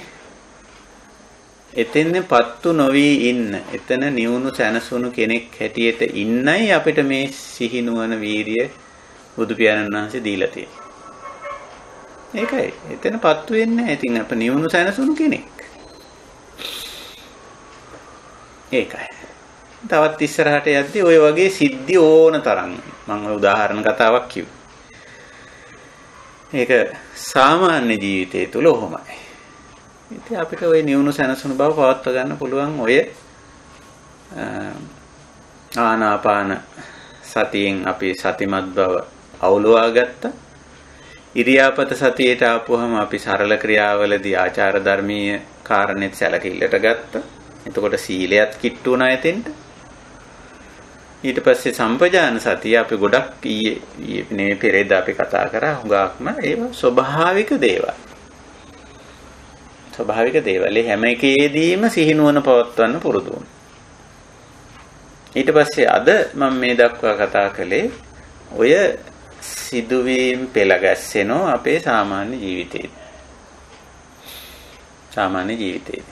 එතකොට අර මෙතෙක් අපි කරගෙන ආපු ඔය කමඨහන් තුන එක්තරා ප්‍රමාණයකට බලපුවාම કૃතිම ගතියක් පෙන්වනවා. අපි ඒක කතා කළා. ආනාපාන සතිය કૃතිම බවක් පෙන්වනවා. ඉරියාපත පුහුණුව કૃතිම බවක් පෙන්වනවා. සම්පජාන පබ්බේදී ඒ ඒ දේවල් එක්තරා કૃතිම ගතියකින් කරනවා. හැබැයි අපිට අවශ්‍ය වෙන්නේ අර ස්වභාවිකත්වයට යන්න. ස්වභාවිකත්වයට එදිනෙදා ජීවිතයේදී අපි ස්වභාවික විදිහට මේ මේ අපි වඩාගත් කුසලතාවයේ ස්වභාවිකත්වයට ගේනවා. සාමාන්‍ය ජීවිතය තුළ අරව ක්‍රියාත්මක වෙනවා. ඒ අවදිමත් බව, ඒ විමසුම් විමර්ශනශීලී ගතිය, සෝදිසිමත් ගතිය. ඊළඟට අකුසලයට වැටෙන්නේ නැතුව අර වීරියවන්ත ගතිය. කරුණාවන්ත බව, මිත්‍රශීලී ගුණයි. තමා කෙරෙහි අනිකා කෙරෙහි අජ්ජත්තං වා බහිද්ධාවා අජ්ජත්ත බහිද්ධාවා හැම පැත්තටම තියාගන්න. ඉතින් එතකොට ওই නිවීම සැනසීම ඊතරම්ම තියෙනවා. එතකොට දැන් අපි ඔය සිහිය ඔය ප්‍රඥාව ඔය වීරියවන්තකම ඔතනින් ටිකක් ඉස්සරහට ගෙනියන්න. ඔතනින් සාමාන්‍ය එදිනෙදා ජීවිතය තුළ ඔය ඔය ගතිය ඔය ගුණය පවතිනකොට අපේ ජීවිතේ පුදුම සැනසීමක් පුදුම සාන්ත බවක් නිවීමක් සැනසීමක් තියෙනවා. හැබැයි අපි එදිනෙදා ජීවිතේ වැඩ කරගෙන යනවා. තමන්ගේ කටයුතු, gedara dore වැඩ, දරුමල්ලන්ගේ වැඩ, රාජකාරි වැඩ, සේවා ස්ථානවල වැඩ, යුතුයකම් වගකීම් පුළුවන් ප්‍රමාණය ඒවත් එසේම කෙරීගෙන යන වෙනසක් නැතුව. එතකොට දැන් සාමාන්‍ය ජීවිතේ යහපත් වටපිටාවක් ගොඩනැගේ. දැන් එතනින් එහාට අපි දැන් කායානුපස්සනාවේ ඔන්න එතනින් එහාට මේ සිහිනුවන මේ වීරිය මේ කරුණා මෛත්‍රී සහගත ගතිය මේ ගුණයන් ටික අපි ඊට වැඩිය ගැඹුරු දෙයකට රැගෙන යනවා දැන්. ඒකට අපි කියන්නේ විදර්ශනාවට යොමු වෙනවා. දැන් ඔන්න අපි සූත්‍රයට අද අපි අවධානය යොමු කරනවා. අද ඉඳලා අපි කායානුපස්සනාවේ විදර්ශනා කමටහන් වලට අවධානය යොමු කරන්න කැමතියි. පෙරේදත් මම සරල වශයෙන් ප්‍රශ්නයක් අහපුවා මේ කාරණා ගැන සරලව මතක් කෙරුවා. කායානුපස්සනාවේ ඔන්න අර සිහිනුවන දියුණු කරගත්ත වීරියවන්ත කරුණාව මෛත්‍රිය සහිත යෝගියට බුදුරජාණන් වහන්සේ එතන ඉඳලා දෙනවා විදර්ශනා කමඨහන් තුනක්. මොකටද?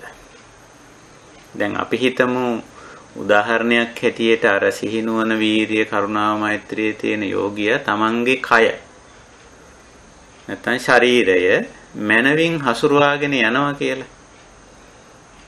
ඒ ඒක ඒක අර ශරීරයේ ඇති වෙන කිසිදු බාධාවක් නැත්නම් සංසිද්ධියකදී කම්පා වෙන්නේ නැහැ. ඒකට කරුණාවෙන් මෛත්‍රියෙන් අවවස්ථාන කරගෙන හොඳට කය පවත්වන්නෙක් බවට පත් වෙනවා.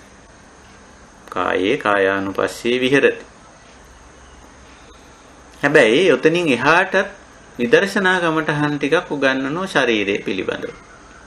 ඒ මොකද මේ ඕනම දෙයක් ඉතින් හොඳට පවත්වාගෙන යනකොට ඇති වෙන තවත් අතිරේක අකුසලයක් තියෙනෝනේ. ඕකට ඇලෙන්න ගන්න. ඊළඟට ඕකේ මොකක් හරි බාධාවක් ආවොත් එහෙම ගැටෙන්න ගන්න. ඒකේ තියෙන යම් යම් වින්දනීය ගතිගුණයන් වලට මුලා වෙනවා. ඔය ඇලීම ගැටීම මුලාව කියන එක යන ඕනම දෙයක් සම්බන්ධයෙන්. කය සම්බන්ධයෙන්ුත් එහෙම වෙන්න පුළුවන්. දැන් හොඳ සිහිනුවණින් වැඩ කරන අය කය මනාව පවත්ව ගන්න. එතකොට ඒ කය මනාව පවත්වාගෙන යන අයට දන්නේම නැතුව කය පිළිබඳ ඇල්මක් ඇති ඒක ස්වභාවිකයි. එහෙම නැත්නම් ශරීරයේ යම් යම් බාධා ඒවම ඒවා ලෙඩ රෝග දුෂ්කරතා අපහසුතා වගේ දේවල් වැඩි නම් කය පිළිබඳ ගැටුමක් ඇති වෙනවා. ඉතින් ඔය දෙක මේ සතිපට්ඨාන දේශනාවේදී බුදු පියාණන් වහන්සේ නිතරම ඉස්සරහට අරගෙන තියෙන අභිජ්ජා දෝමනස්ස. එහෙමනේ.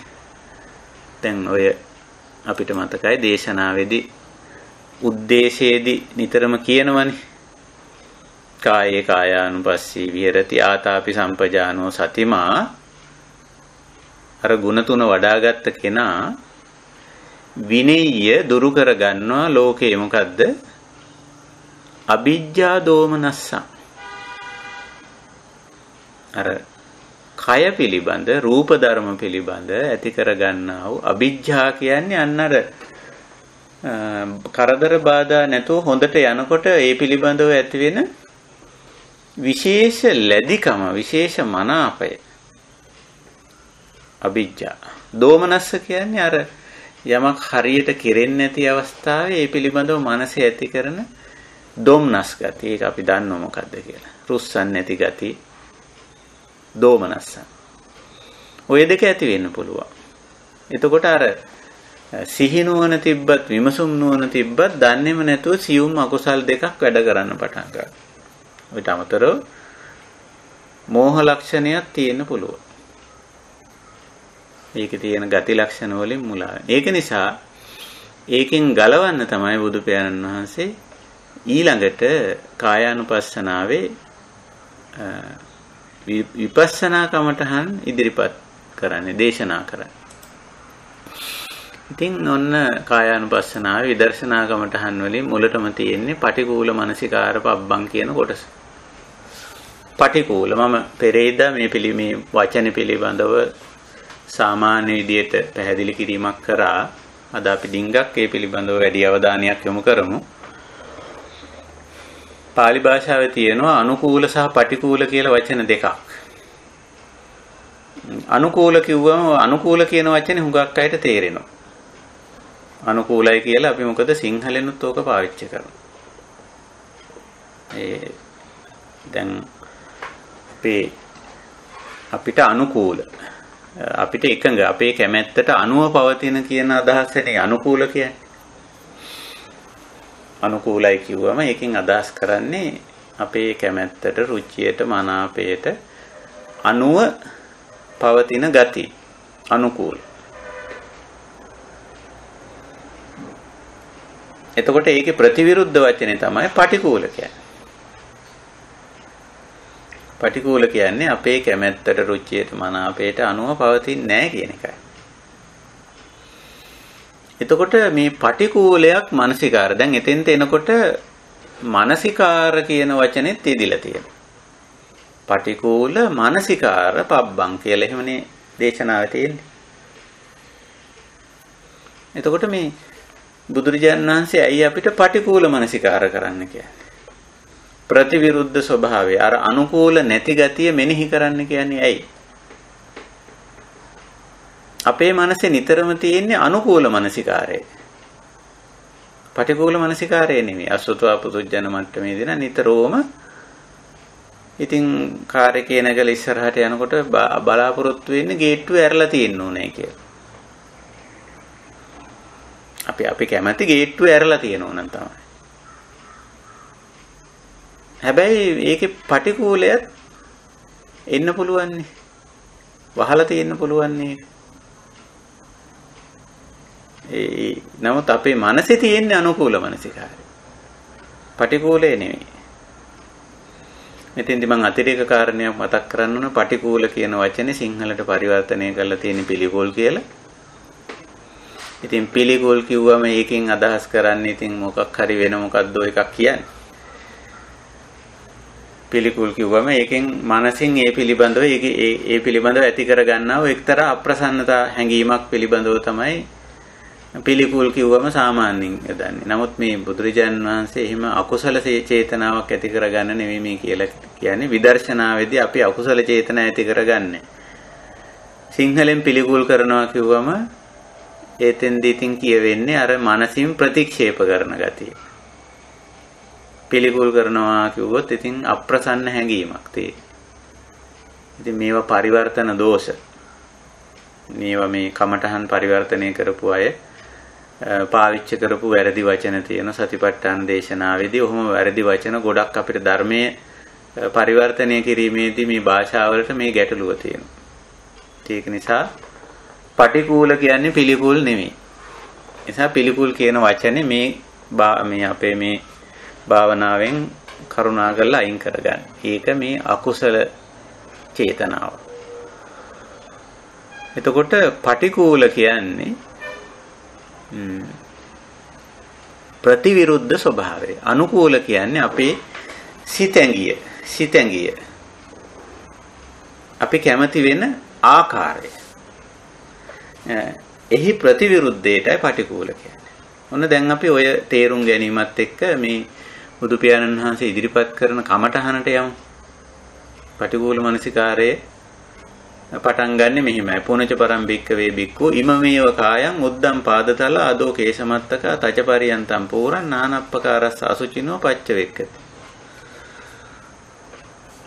ඉමමේව කායං දැන් කායානුපස්සනාවනේ. මෙතෙන්දි මූලික කමටහන කරගන්නේ මං කිව්වා ශරීරය. ඉමමේව කායං. ඉමං කායං ඒව. මෙම ශරීරයම තමයි මෙතෙන්දි කමටහන කරගන්නේ. පාදතල උද්දම්. පාතලයේ සිට ඉහළටත් කේසමත්තක ආදෝ කෙස්මත්තේ සිට යටට පරියන්තං තචෝ. ආත්පසින් හැමද ඔය ශරීරයේ සීමාව කිව්ව හැටි. ශරීරයේ සීමාව කිව්ව ඔහොමයි ඔය ඔය ඔය සීමාව ඇතුලේ පූරං පිරීති බෙන්නා වූ දේවල් ටිකක් තියෙනවා කේසාලෝමානකා දන්ත ආදී වශයෙන් කියන්නේ ওই සීමාව ඇතුලේ පිරීලා තියෙන දේවල් ගැන තමයි. පාතලයෙන් උඩද කෙස්මත්තෙන් යටද හැම සීමා කරගෙන ඇත්තා වූ මේ ශරීරය තුල පිරී තිබෙන්නා වූ දේවල් ටිකක් තියෙනවා. අන්නේ දේවල් වල ඒ දේවල් පිළිබඳව අපිට සාමාන්‍යයෙන් තියෙන්නේ අනුකූල මානසිකාරයක් තියෙනවා. කෙස් නම් ඉතින් කේසා මෙහෙම මෙහෙම වෙන්න ඕන කියලානේ අපි කියන්නේ. අපි කැමති ඒ කෙස් කලුවට ඔපේට දිගට තියෙනවනන්නේ කැමති. ඒක තමයි අනුකූල මානසිකාරය. ඒ වුණාට බුදුරජාණන් වහන්සේ අපිට කියන මේකේ පටිකූලයක් එනවා කියලා. ප්‍රතිවිරුද්ධ ස්වභාවය. අපි සාමාන්‍යයෙන් කැමති නොවන මනාප නොවන තත්වයක් මේකේ එනවා. හේතුඵල ධර්මානුකූලව. ඉතින් ඒක කාගේවත් වැරද්දක් නෙමෙයි. ඒක සෝබාදාම. ධම්ම නියාමය. කළු කෙස් සුදු වෙන එක. දිග කෙස් කොට වෙන එක. ඔපේට තියෙන ඒවා ඔපේ නැති වෙන එක. එහෙමනේ. ඉතින් කේසා ලෝමා නකා දන්තා තචෝ ඕවයි පටිකූලය මෙනෙහි කරන්න කියලා. ඒ මොකද අර අනුකූලයේ විතරක් මනසේ තියාගෙන ඉන්නකොට පටිකූලයේ එද්දි ඔන්න ක්ලේශය උපදින, ඔන්න දුක උපදින, ඔන්න ඉතින් කලබල වෙනවා. ඔන්න නොසන්සුන් වෙනවා. ඔන්න ඉතින් ඕක වහන්න නොඑක් දේවල් කරන්න යනවා. කළු කායකෙස් වල කළු පාට විතරක් බලාපොරොත්තු වෙමින් ඉන්න කෙනාගේ සුදු වෙනකොට මොකද වෙන්නේ? ඉතින් කලබල වෙනවනේ. නොසන්සුන් වෙනවනේ. ලැජ්ජා වෙනවා. අනේ කොහොමද දැන් පාරේ යන්නේ? ඔෆිස් එකට යන්නේ? කාර්යාලයට යන්නේ? මේක නිකන් නොවිය යුත්තක්. ඔය අනුකූල මානසිකත්වයේ හැටි එහෙමයි. ඒකයි. ඔන්න ඔය දුකට තමයි බුදුරජාණන් වහන්සේ යම් පිච්ඡං නලබති තම්පි දුක්ඛං කිය උතන තමයි ඉච්ඡාව මොකද්ද අපේක්ෂාව මොකද්ද? මගේ කෙස් මෙහෙම තියෙනවා. කේසා ලෝමා. ලෝමා කියන්නේ ශරීරයේ තියෙන තවත් එවැනිම කොටසක් ඒවා මෙහෙම මෙහෙම මේ විදියට තියෙන්න ඕන කියලා. ඉතින් ඕවා ඉතින් Taman කැමති විදියට තියාගන්න උත්සාහ කරනවා. හැබැයි පරාද වෙනවා. ඇයි මේකේ පටිකූලය එනවනේ ප්‍රතිවිරුද්ධ ස්වභාවය නිතරම එනවා. Taman අනුකූල Taman කැමති විදිහයි එහි ප්‍රතිවිරුද්ධේ ඒකම ඒක තුලින්ම මතුවලා යනවා. කේශාලෝමාවල. නකා නියපොතු. ඉතින් කොහොම තියාගන්නද කැමති? දැන් බලන්නකෝ වට කරන අනුකූල මානසිකත්වයේ කොහොමද කියලා නොඑක් විදියට තියාගන්න උත්සාහ කරනවානේ. ඉතින් අපි ඕවට ඉතින් නොඑක් තර්කත් ගේනවා ඉතින්. නියපොතු වලට කරන වැඩ බලන්නකෝ. ඉතින් ඕවා මම විස්තර සහිතව කියන්න අවශ්‍ය නැහැ. අනුකූල මානසිකත්වයේ බලන්න නිතරම තමන් තුළින් මේක බලන්නේ. අනිත් එක්කෙනා දිහා බලන්න එපා. අනිත් එක්කෙනා කෙස් තියාගෙන ඉන්නේ කොහොමද? අනිත් එක්කෙනා ලොම් තියාගෙන ඉන්නේ කොහොමද? අනිත් එක්කෙනා නියපොතු තියාගෙන ඉන්නේ කොහොමද? ඒව වැඩක් නෑ අපි. ඒවයි බලන්න ඇඟිලි ගහන්න ගියාම තවදුරටත් ඒව නිකන් කෙලෙස් බවට ඕන නැති ගැටලු බවට පත් වෙන. තමන් බලන්න. මගේ අනුකූල මානසිකත්වය මොකද්ද? මං කැමති කොයි විදිහට මේවා තියාගන්නද? අන්නේ තමන් කැමති වෙන ආකාරයේ ප්‍රතිවිරුද්ධ ස්වභාවය ප්‍රතිවිරුද්ධ ස්වභාවය පටිකූලය එනවා මතු වෙලා එනවා ඒක තුලින්මයි දන්තා අපි දත් ටික හොඳට පේලියට සුදුවට තියාගන්න අපේ මනාපයක් කැමැත්තක් තියෙන්න පුළුවන්. එතකොට නමුත් ඒ මනාපයට ඒ රුචියට අනුව මේක පවතින්නේ ඇයි? ඔන්න අපිට විදර්ශනාව උතෙන්දි තමයි විදර්ශනාව කියන එක කියලා දෙන්න ඕනේ නැහැ වැටහෙනවා. කලුවට තියෙන කෙස් සුදු වීම සෝබා දහම බව අපිට වැටහෙන. විපරිණාමය බව අපිට තේරෙනවා. හොඳ සිහිනුවන යොදලා බැලුවොත් ඔක කවුරුවත් කියලා දෙන්න ඕනේ ප්‍රතිවිරුද්ධ ස්වභාවය පටිකූලයේ මෙනෙහි කරපු ගමම්ම කේසා ලෝමානක දන්තා තචෝ මේවයි යථා ස්වභාවය අපිට වැටහෙනවා. අපි කැමති ආකාරයේ වගේම මෙහි ප්‍රතිවිරුද්ධයත් මේ මේ තුල මතුවලා එනවා කියලා. ඕනම තැනක තියෙනවා මේ අනුකූල ගති.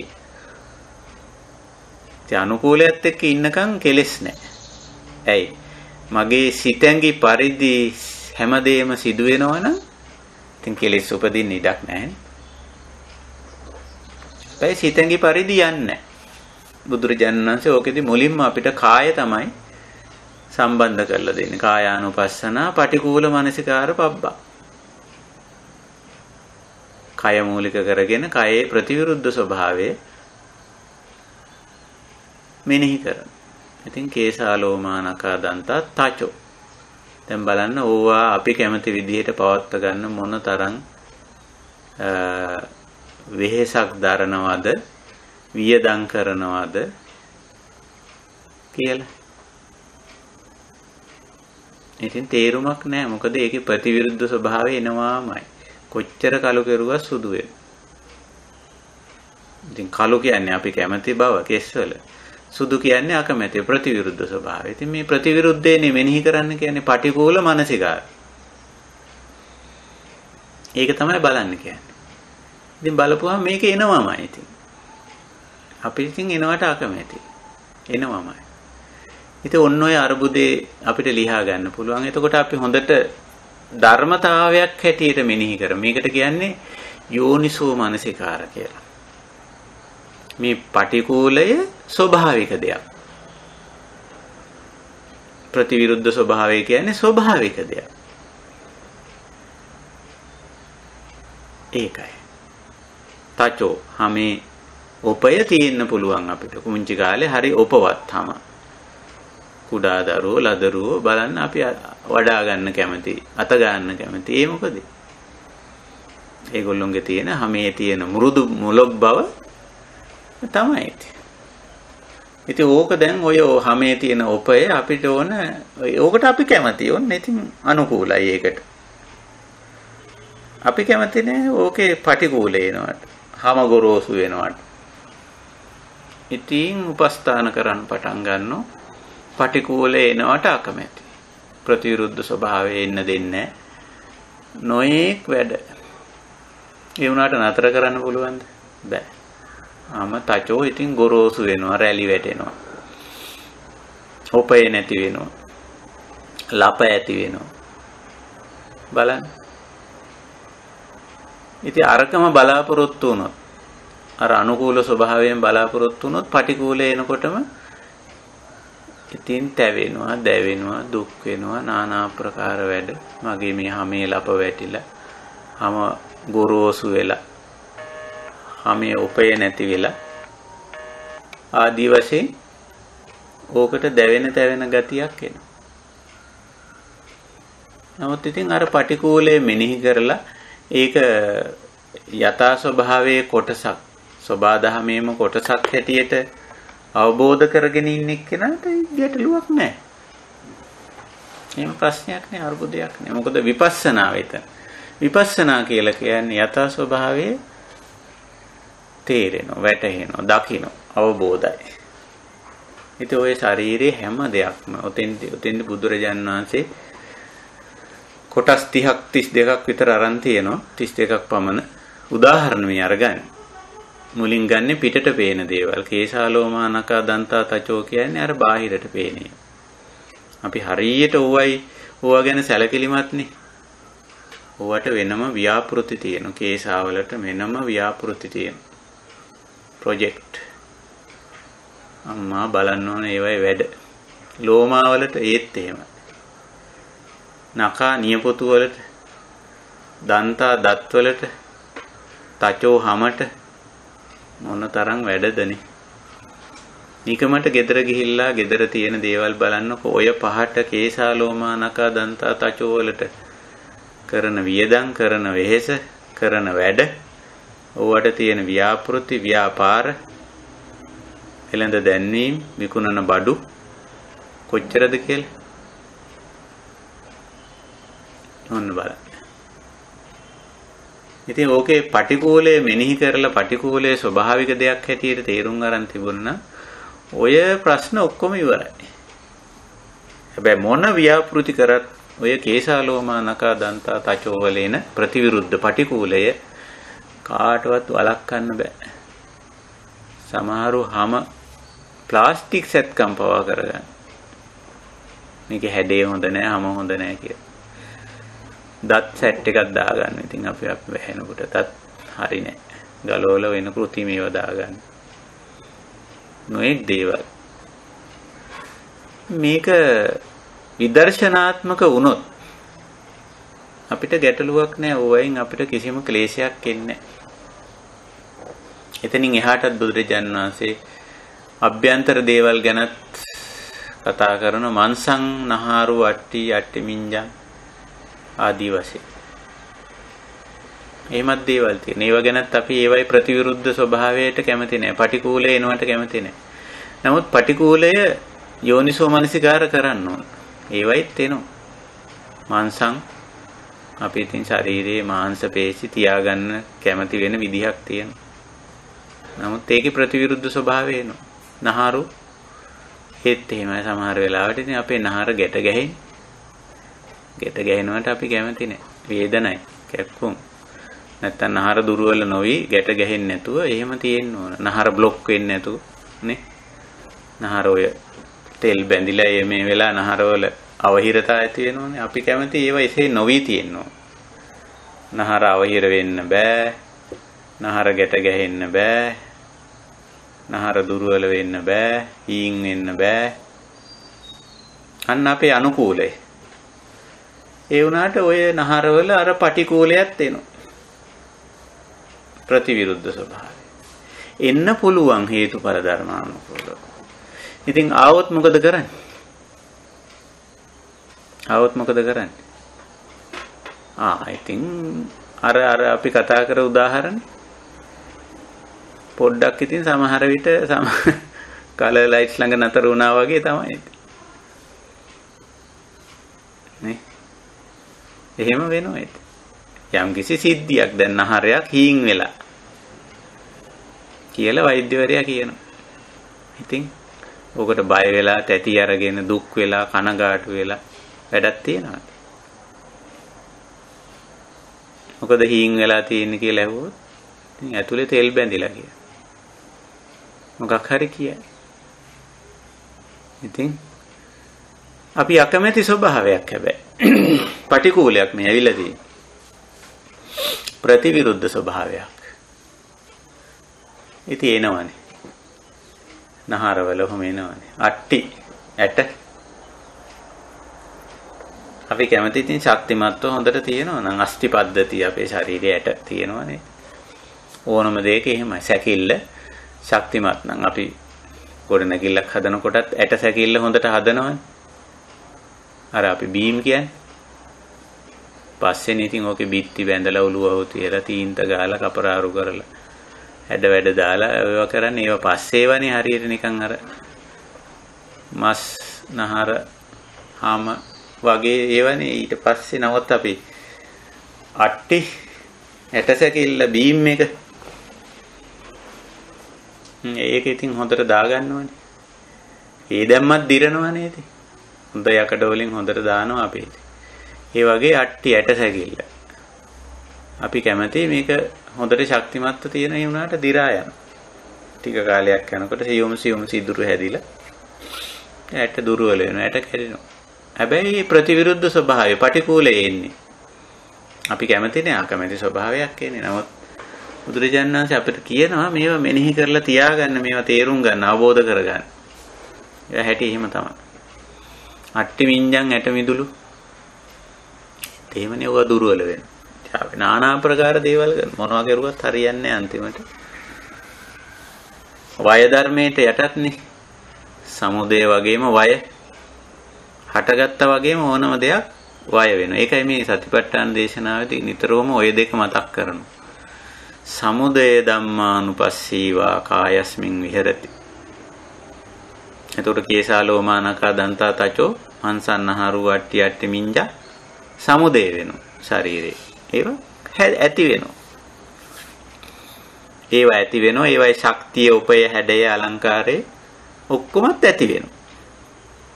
සමුදය ධම්මානුපස්සීවා කායස්මින් විහෙරති. ඒ ඇති වෙච්ච මොකද වෙන්නේ? වය. වැය වෙනවා. අපි ඔය සිංහලුනොත් වැය වෙනවා කියන්නේ. ගෙවි ගෙවි යනවා. ගෙවි ගෙවි යනවා. අන්න ඒක මෙනෙහි කිරීම තමයි පටිකූල මනසිකාරකය. පිළිගොල් භාවනාව එහෙම නෙවෙයි. ප්‍රතිවිරුද්ධ ස්වභාවය හේතුඵල ධර්මානුකූලව මනවින් මෙනෙහි කිරීම. මේ අපි මෙනෙහි කරන්නේ යථා ස්වභාවය. ඇත්ත తත්වය. අපි ඔය ඇත්තට වැඩිය කැමති නෑ. මං කලින් දවසක් කිව්වනේ. ප්‍රകൃතිය දකින්න බලන්න හරිය අකමැති. ප්‍රകෘතිය නැත්නම් අපි ඒකට කියන යථා ස්වභාවය. නැත්නම් තතතාව. කලුවට තියෙන කෙස් සුදු වෙන එක තතතාව. යථා භූතය ඇත්ත తত্ত্বය. සාමාන්‍යයෙන් අසුතව පුදුජන මට්ටමේදී හරියක මැතියෝ ඇත්ත ගැන මතක් කරනවටත් කැමති නෑ. කතා කරනවට කැමති නෑ. සිහිපත් කරනවට කැමති නෑ. නමුත් බුදුරජාන් වහන්සේ තථාගත ඇත්ත తত্ত্বය පැහැදිලි කරන ඇත්ත తত্ত্বයට මුහුණ දෙන ඇත්ත తত্ত্বයට මුහුණ දෙන්න අපිව ශක්තිමත් කරන මඟ පෙන්වන මහා කාරුණික කෙනෙක් උන්වහන්සේ. ඉතින් ඇත්ත తত্ত্বයට මුහුණ දී ගන්න බැරි වුණාමයි අපි ওই දුක් ප්‍රශ්න ගැටලු ආදී දේවල් හදාගන්නේ. ඉතින් ඔය පටිකූල මානසිකාරයේ තුල සිදුවන්නේ අන්නේ වැනි දෙයක්. අපි කරන්නේ එහෙම දෙයක්. තවත් ඉස්සරහට පෙන්නනෝ වක්කං හදයන් යකනං කිලෝමකම් පියකං පප්පාසං අන්තං අන්ත උනං කියලා ඒ මොනවද වක්කං ඉතින් වකුගඩු හදයන් හෘදේ වස්තුව යකනං අක්මාව ප්ලීහාව කියලා එක එක දේවල් තියෙන පෙනහලු කුඩා බඩවැල් මහා බඩවැල් ආදී වශයෙන් ওই ශරීරයේ අභ්‍යන්තර ඉන්ද්‍රිය තියෙනෝනේ ඉන්ද්‍රිය ඔය ගැන ඔය කියන්නේ. ඔය කීපයක් කියලා තියෙන. තව ඉතින් ඕන තරම් ඉන්ද්‍රිය තියෙන.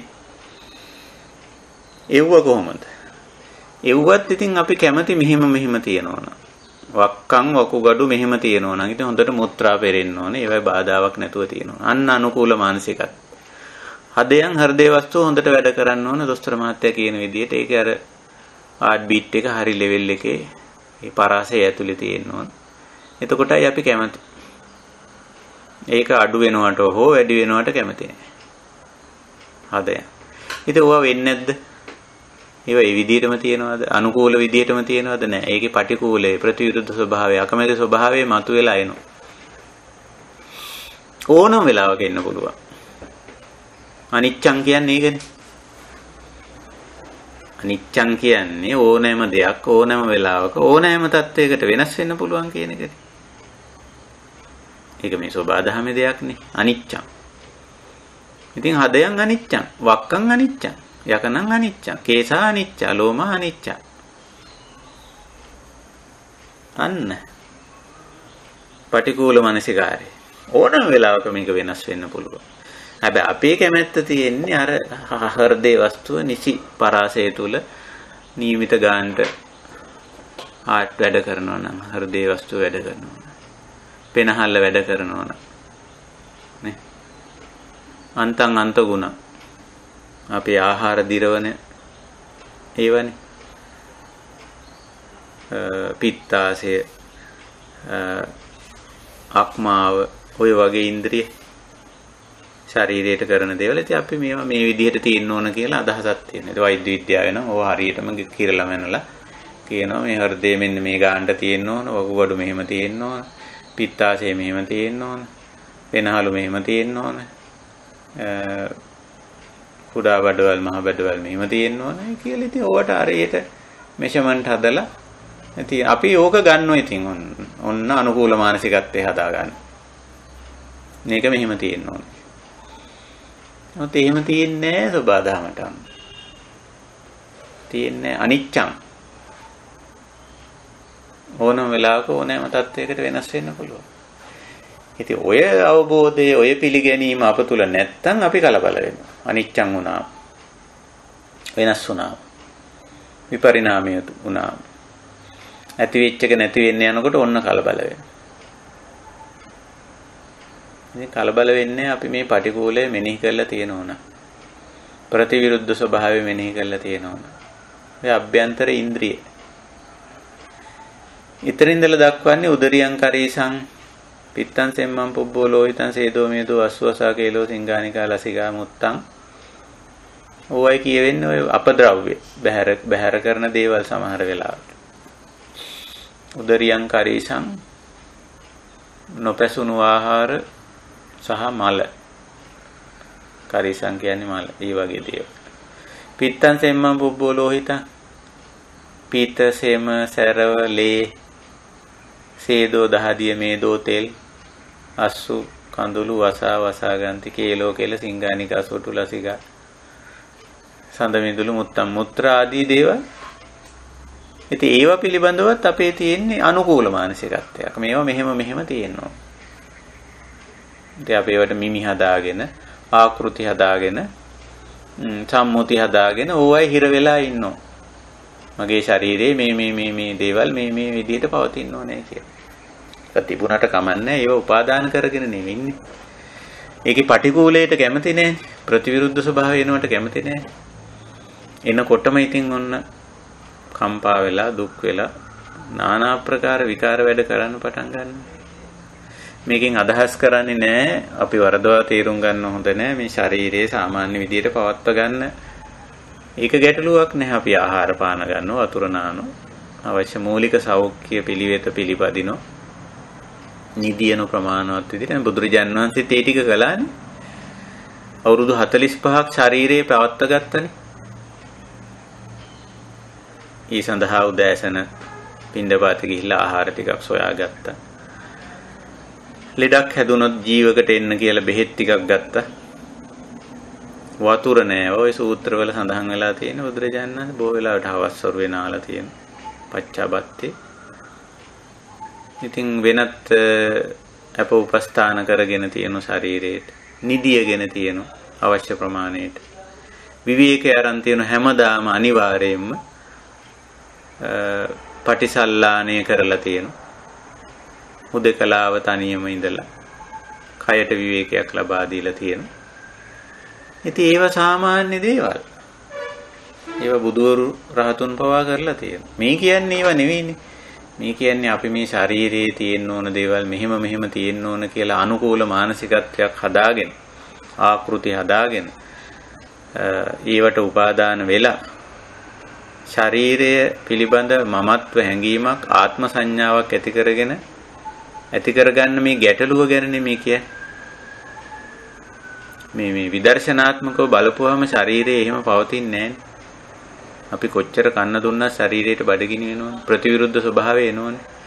අපි කැමති බඩගිනි නොවෙනව නමුත් බඩගින්න එනවා. පිපාසය නොවෙනව නම් අපි කැමති පිපාසය එනවා. නිදිමත නොවෙනව නම් අපි කැමති නිදිමත එනවා. වෙහෙස ඇති නොවෙනව නම් අපි කැමති වෙහෙස එනවා. සප්‍රාණික බවටයි අපි කැමති ශරීරය. නමුත් අප්‍රාණික බව එනවා.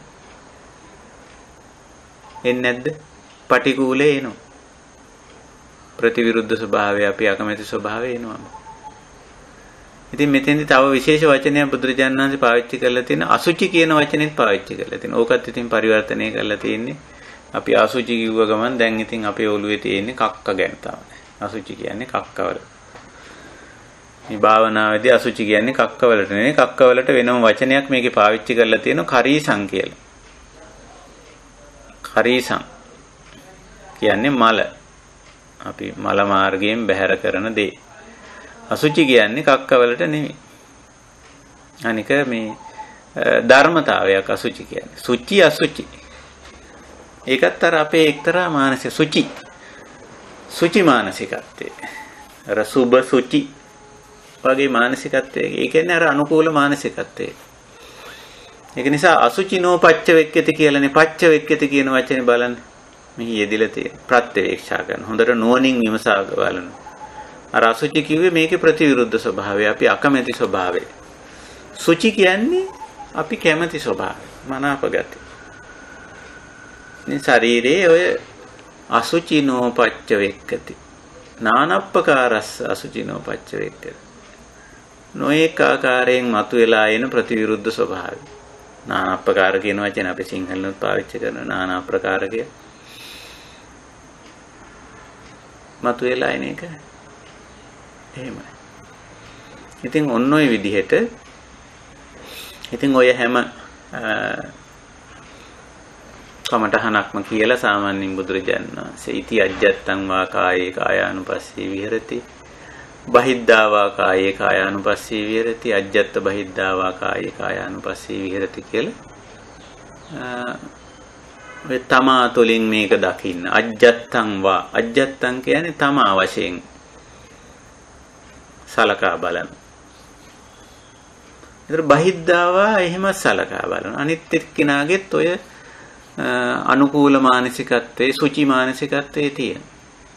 මගෙත් අනුකූල මානසිකත්වයේ තියෙන සුචි මානසිකත්වයේ තියෙන. ඉතින් ඒකෙන් ක්ලේශයක් ඇති නොවෙන්න තමයි අපි පටිකූලයේ අසුචිය මෙනෙහි කරන්නේ.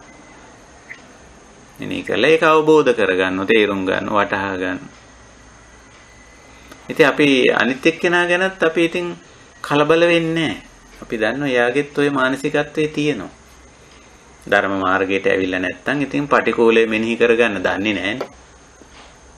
මේ ධර්ම මාර්ගයට ආපු මේ මේ නිවන් මගට මේ බුදු මගට ආපු කෙනා විතරයි පටිකූලය කියන්නේ මොකද්ද අසුචිය කියන්නේ මොකද්ද පටිකූල මානසිකාරය කරන්න දන්නේ එයා විතරයි. දන්නේ නැති අය ඉතින් අනුකූල මානසිකත්වයේ තමයි ඉන්නේ. පටිකූල එනකොට ඉතින් හොඳටම කම්පා වෙනවා, දුක් වෙනවා, කනගාටු වෙනවා. ඒකත් එක්ක ලොකු මෝඩ සටනක් කරනවා. අන්තිමට ඒ වයින් කෙලෙස් දුක් එකතු කරගන්නව විතරයි. ඉතින් අපි ඕක අපි තුලින් දැකලා අනිකා තුලිනුත් දකිනවා. අපි තුලින් දැකලා අජ්ජත්තං වා කායේ කායානුපස්සී විහෙරති තමා තුලින් දැකලා තමන් විදර්ශනා කරලා පටිකෝල මනසිකාරය කරලා තමන් ඒ ගැටලුව ලියා ගන්නවා. ලියා ගන්න. දැන් අපිට ওই ශරීරයේ පිළිබඳ ගැටලු නැහැ. ගැටලු නැහැ කියන්නේ ওই වගේ අර අනුකූල මානසිකත්වයන් නැහැ දැන්. ඒ වයින් අපි අයින් වෙනවා. මොකද අපි පටිකූලය හොඳට ධර්මානුකූලව මෙනෙහි කරා. පටිකූල මානසිකාරය කළා. මේ ප්‍රතිවිරුද්ධ ස්වභාවයේ සබාධමීම ලක්ෂණයක් ඒක එනවාමයි නොවේවා කියන හැඟීමක්වත් අපි ඇති කරගන්නේ ආවම අපි දුක් වෙන්නෙත් නෑ කනගාටු වෙන්නෙත් නෑ ආවම අපි ඉතින් ඒකට උපස්ථානයක් කරන්න පුළුවන් නම් කරනවා එච්චරයි දැන් බලන්න අපි වට එහෙම දේවල් කරනවානේ හැපෙන්නේ නැත්තම් අපි කාචියක් දා ගන්නවානේ ඉතින් ඕකේ වැරද්දක් නැහැ හැබැයි චක්කුන් අනිච්චං කියන එක හැමතිස්සෙම මතක තියාගන්න ඕනේ. මේ කාචි දැම්මත් කරන්න බෑ. මේ තව දුර්වල අපි අපි නම් කියන්නේ මේ ටික කාලයක් යනකොට කාචි දාලත් පේන්නේ නැති වෙනකොට අපි කියන්නේ මේ කාචි වැරද්ද කියලා. කන්නාඩියක් දාගන්න කන්නාඩියක් දාගෙන ඉතින් ටික කාලයක් යනකොට ඔන්න පෙනීම තව දුර්වල වෙනවා. මේ දුර්වල වෙන්නේ ඇහැ. අපි කියන්නේ කන්නාඩිය දැන් පරණ වෙලා. කන්නාඩිය දුර්වලයි කියන. කන්නාඩිය මාරු කරනවා. ඉතින් දොස්තර මහත්තයා ළඟට ගියාමත් එයා බලලා තිනවා ඕ මේක කණ්ණාඩිය වැරද්ද කියලා. අපි කණ්ණාඩිය මාරු කරමු කියලා. ඉතින් මාරු කරමු. මේ වැරද්ද තියෙන කණ්ණාඩිය නෙමෙයි. ඇහි ඇහැ තව තව තව තව දුර්වල වෙනවා. ඉතින් ඕක තමයි අර කැකිල්ලගේ වැඩේ.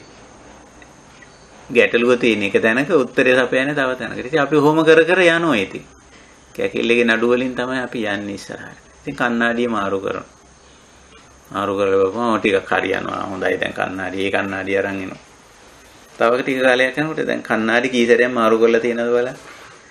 අපි කියන්නේ කණ්ණාඩි වල වැඩ දෝෂය කියලා. නෑ මේ ඇහි ප්‍රශ්නේ යන්නේ. පටිකූලේ එනවා විපරිණාමේ එනවා ඉතින්. ඕක අපි අවබෝධ කරගෙන හිටියනම් කිසි ගැටලුවක් නැහැ. ඉතින් ඕක බහිද්දා වෙනුත් තේරුම් ගන්න ඕන.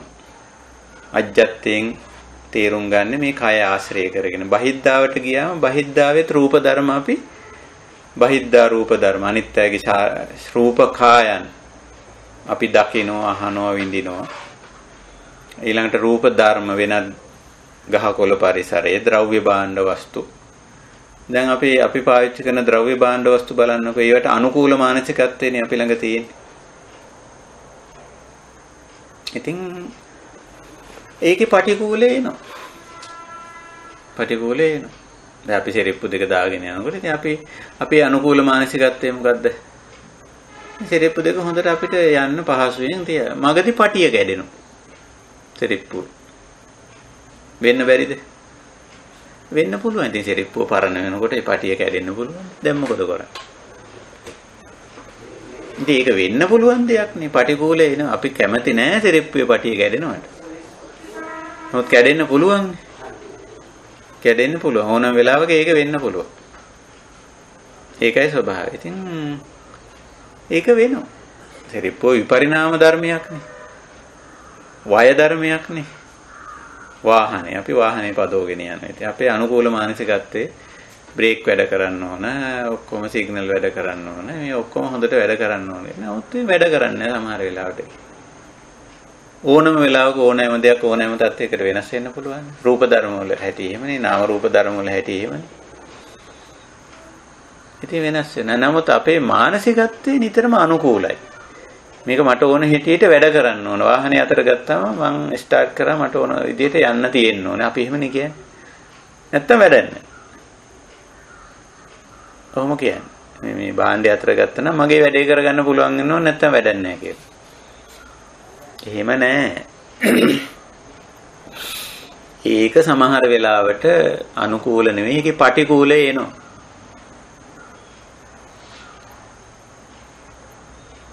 ඉතින් ওই ස්වභාවය අපි අවබෝධ කරගෙන ඉන්න ඕනේ. තේරුම් අරන් ඉන්න ඕනේ. පටිකූල මානසිකාරය කියන්නේ ඒකයි. මම තවත් ටිකක් ඕක එහාට ගෙනියන්න කැමතියි. දැන් බලන්න මිනිස්සු දිහා. මිනිස්සු දිහා බලන්න. මිනිස්සු පිළිබඳවත් අපි ඔය අනුකූල මානසිකත්වයේ හදාගෙන ඉන්නවනේ. මගේ සාමි පුරුෂයා මෙහෙම වෙන්න ඕන. භාර්යාව මෙහෙම වෙන්න ඕන. දරුවෝ මෙහෙම වෙන්න ඕන. මං කැමති විදියට මං කැමති ආකාරයට පවතින්න ඕන. අල්ලපු ගෙදර එක්කෙනා මෙහෙම වෙන්න ඕන. ඔෆිස් එකේ මාත් එක්ක වැඩ කරන එක්කෙනා මෙහෙම වෙන්න ඕන. මගේ බොස් මෙහෙම වෙන්න ඕන. මගේ ඇසිස්ටන්ට් මෙහෙම වෙන්න ඕන. මගේ සේවකයෝ මෙහෙම වෙන්න ඕන. කොහොම නැද්ද අනුකූල මානසිකත්වය? අනේ බුදුරජාණන් වහන්සේ අපිට මේ ශරීරය තුලින් විතරක් නෙවෙයි මේක බහිද්දා වෙනුත් අපිට හොඳට උගන්වනවා. අපි බහිද්දා වෙනුත් මේක තේරුම් අරන් තියෙනවා. ඉතින් අනුකූල මානසිකත්වයන් තියෙනවා. ඕවයි පටිකූලේ එන්නේ නැද්ද? ප්‍රතිවිරුද්ධ ස්වභාවය එන්නේ නැද්ද? අපි අකමැති වෙන තත්ත්වයන් ඒව තුලින් මතුවලා එන්නේ නැද්ද? මම කැමති මගේ භාර්යාව මෙහෙම ඉන්න ඕන. මම අකමැති දේවල් එයා තුලින් කියවෙන්නේ නැද්ද? කෙරෙන්නේ නැද්ද? කෙරෙනවා අන්න පටිකූලේ. අන්න ප්‍රතිවිරුද්ධ ස්වභාවයේ. අන්න ආවා.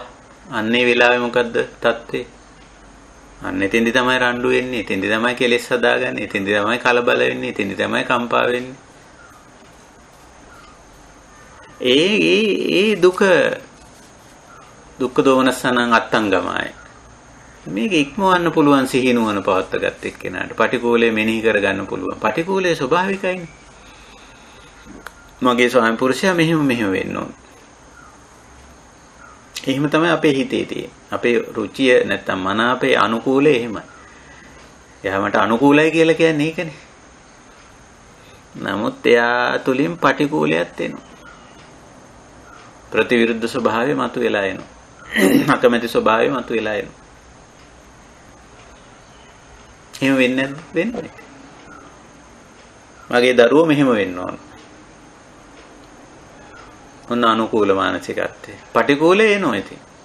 අර තමන් අකමැති ස්වභාවයේ දරුවන් තුලින් මතුවෙන ඒගොල්ලන්ගේ ආකල්ප, ඒගොල්ලන්ගේ හැඟීම්, ඒගොල්ලන්ගේ ක්‍රියාකාරකම්, ඒගොල්ලෝ පවත්වන සම්බන්ධතා.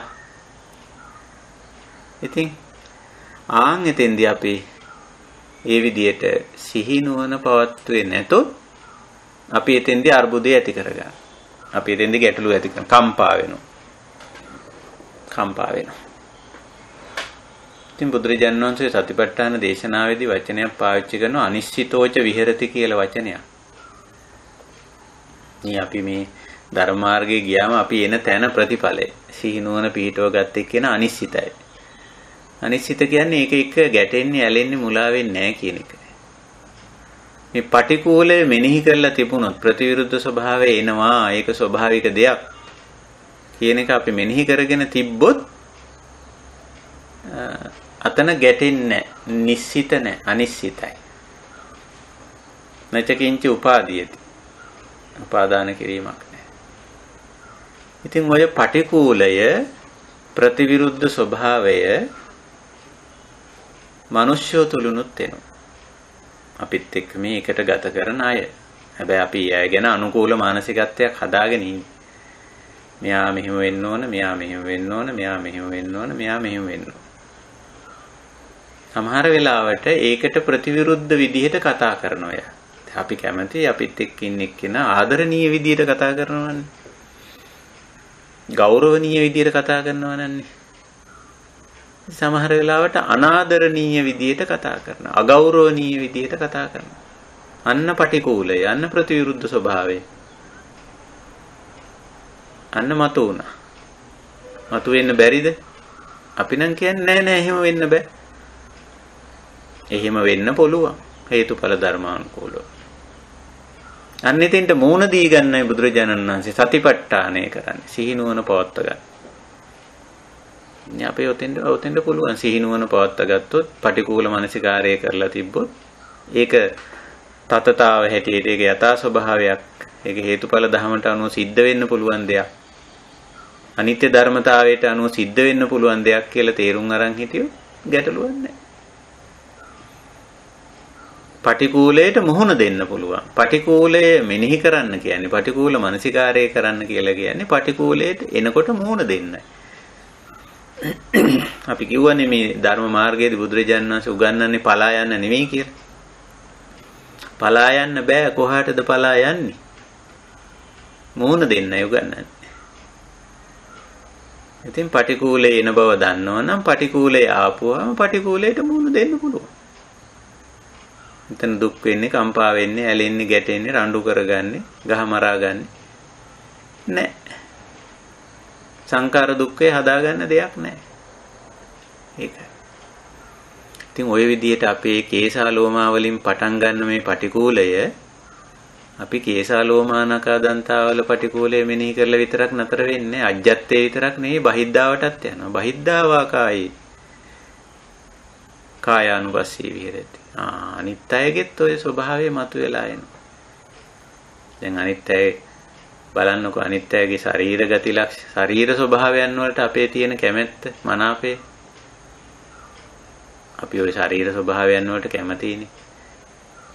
කාය ශක්තිය. අනිත් එක්කෙනාගේ මගේ සහකරු හෝ සහකාරියගේ වර්ණය හැඩය කාය ශක්තිය පෙනුම ඕවා ගැන අනුකූල මානසිකත්වයක් නැද්ද බලන්න හොඳට? හිත අවංකව හිතලා බල. නැද්ද කියලා. තියෙනවා. ඉතින් ටික කාලයක් යනකොට ඒකේ ප්‍රති ප්‍රතිකූලයේ පටිකූලයේ ප්‍රතිවිරුද්ධ ස්වභාවය එන්නේ නැද්ද එනවා ඉතින්. ඉතින් ඒක එන බව දැනගෙන හිටියනම් ගැටලුවක් නැහැ.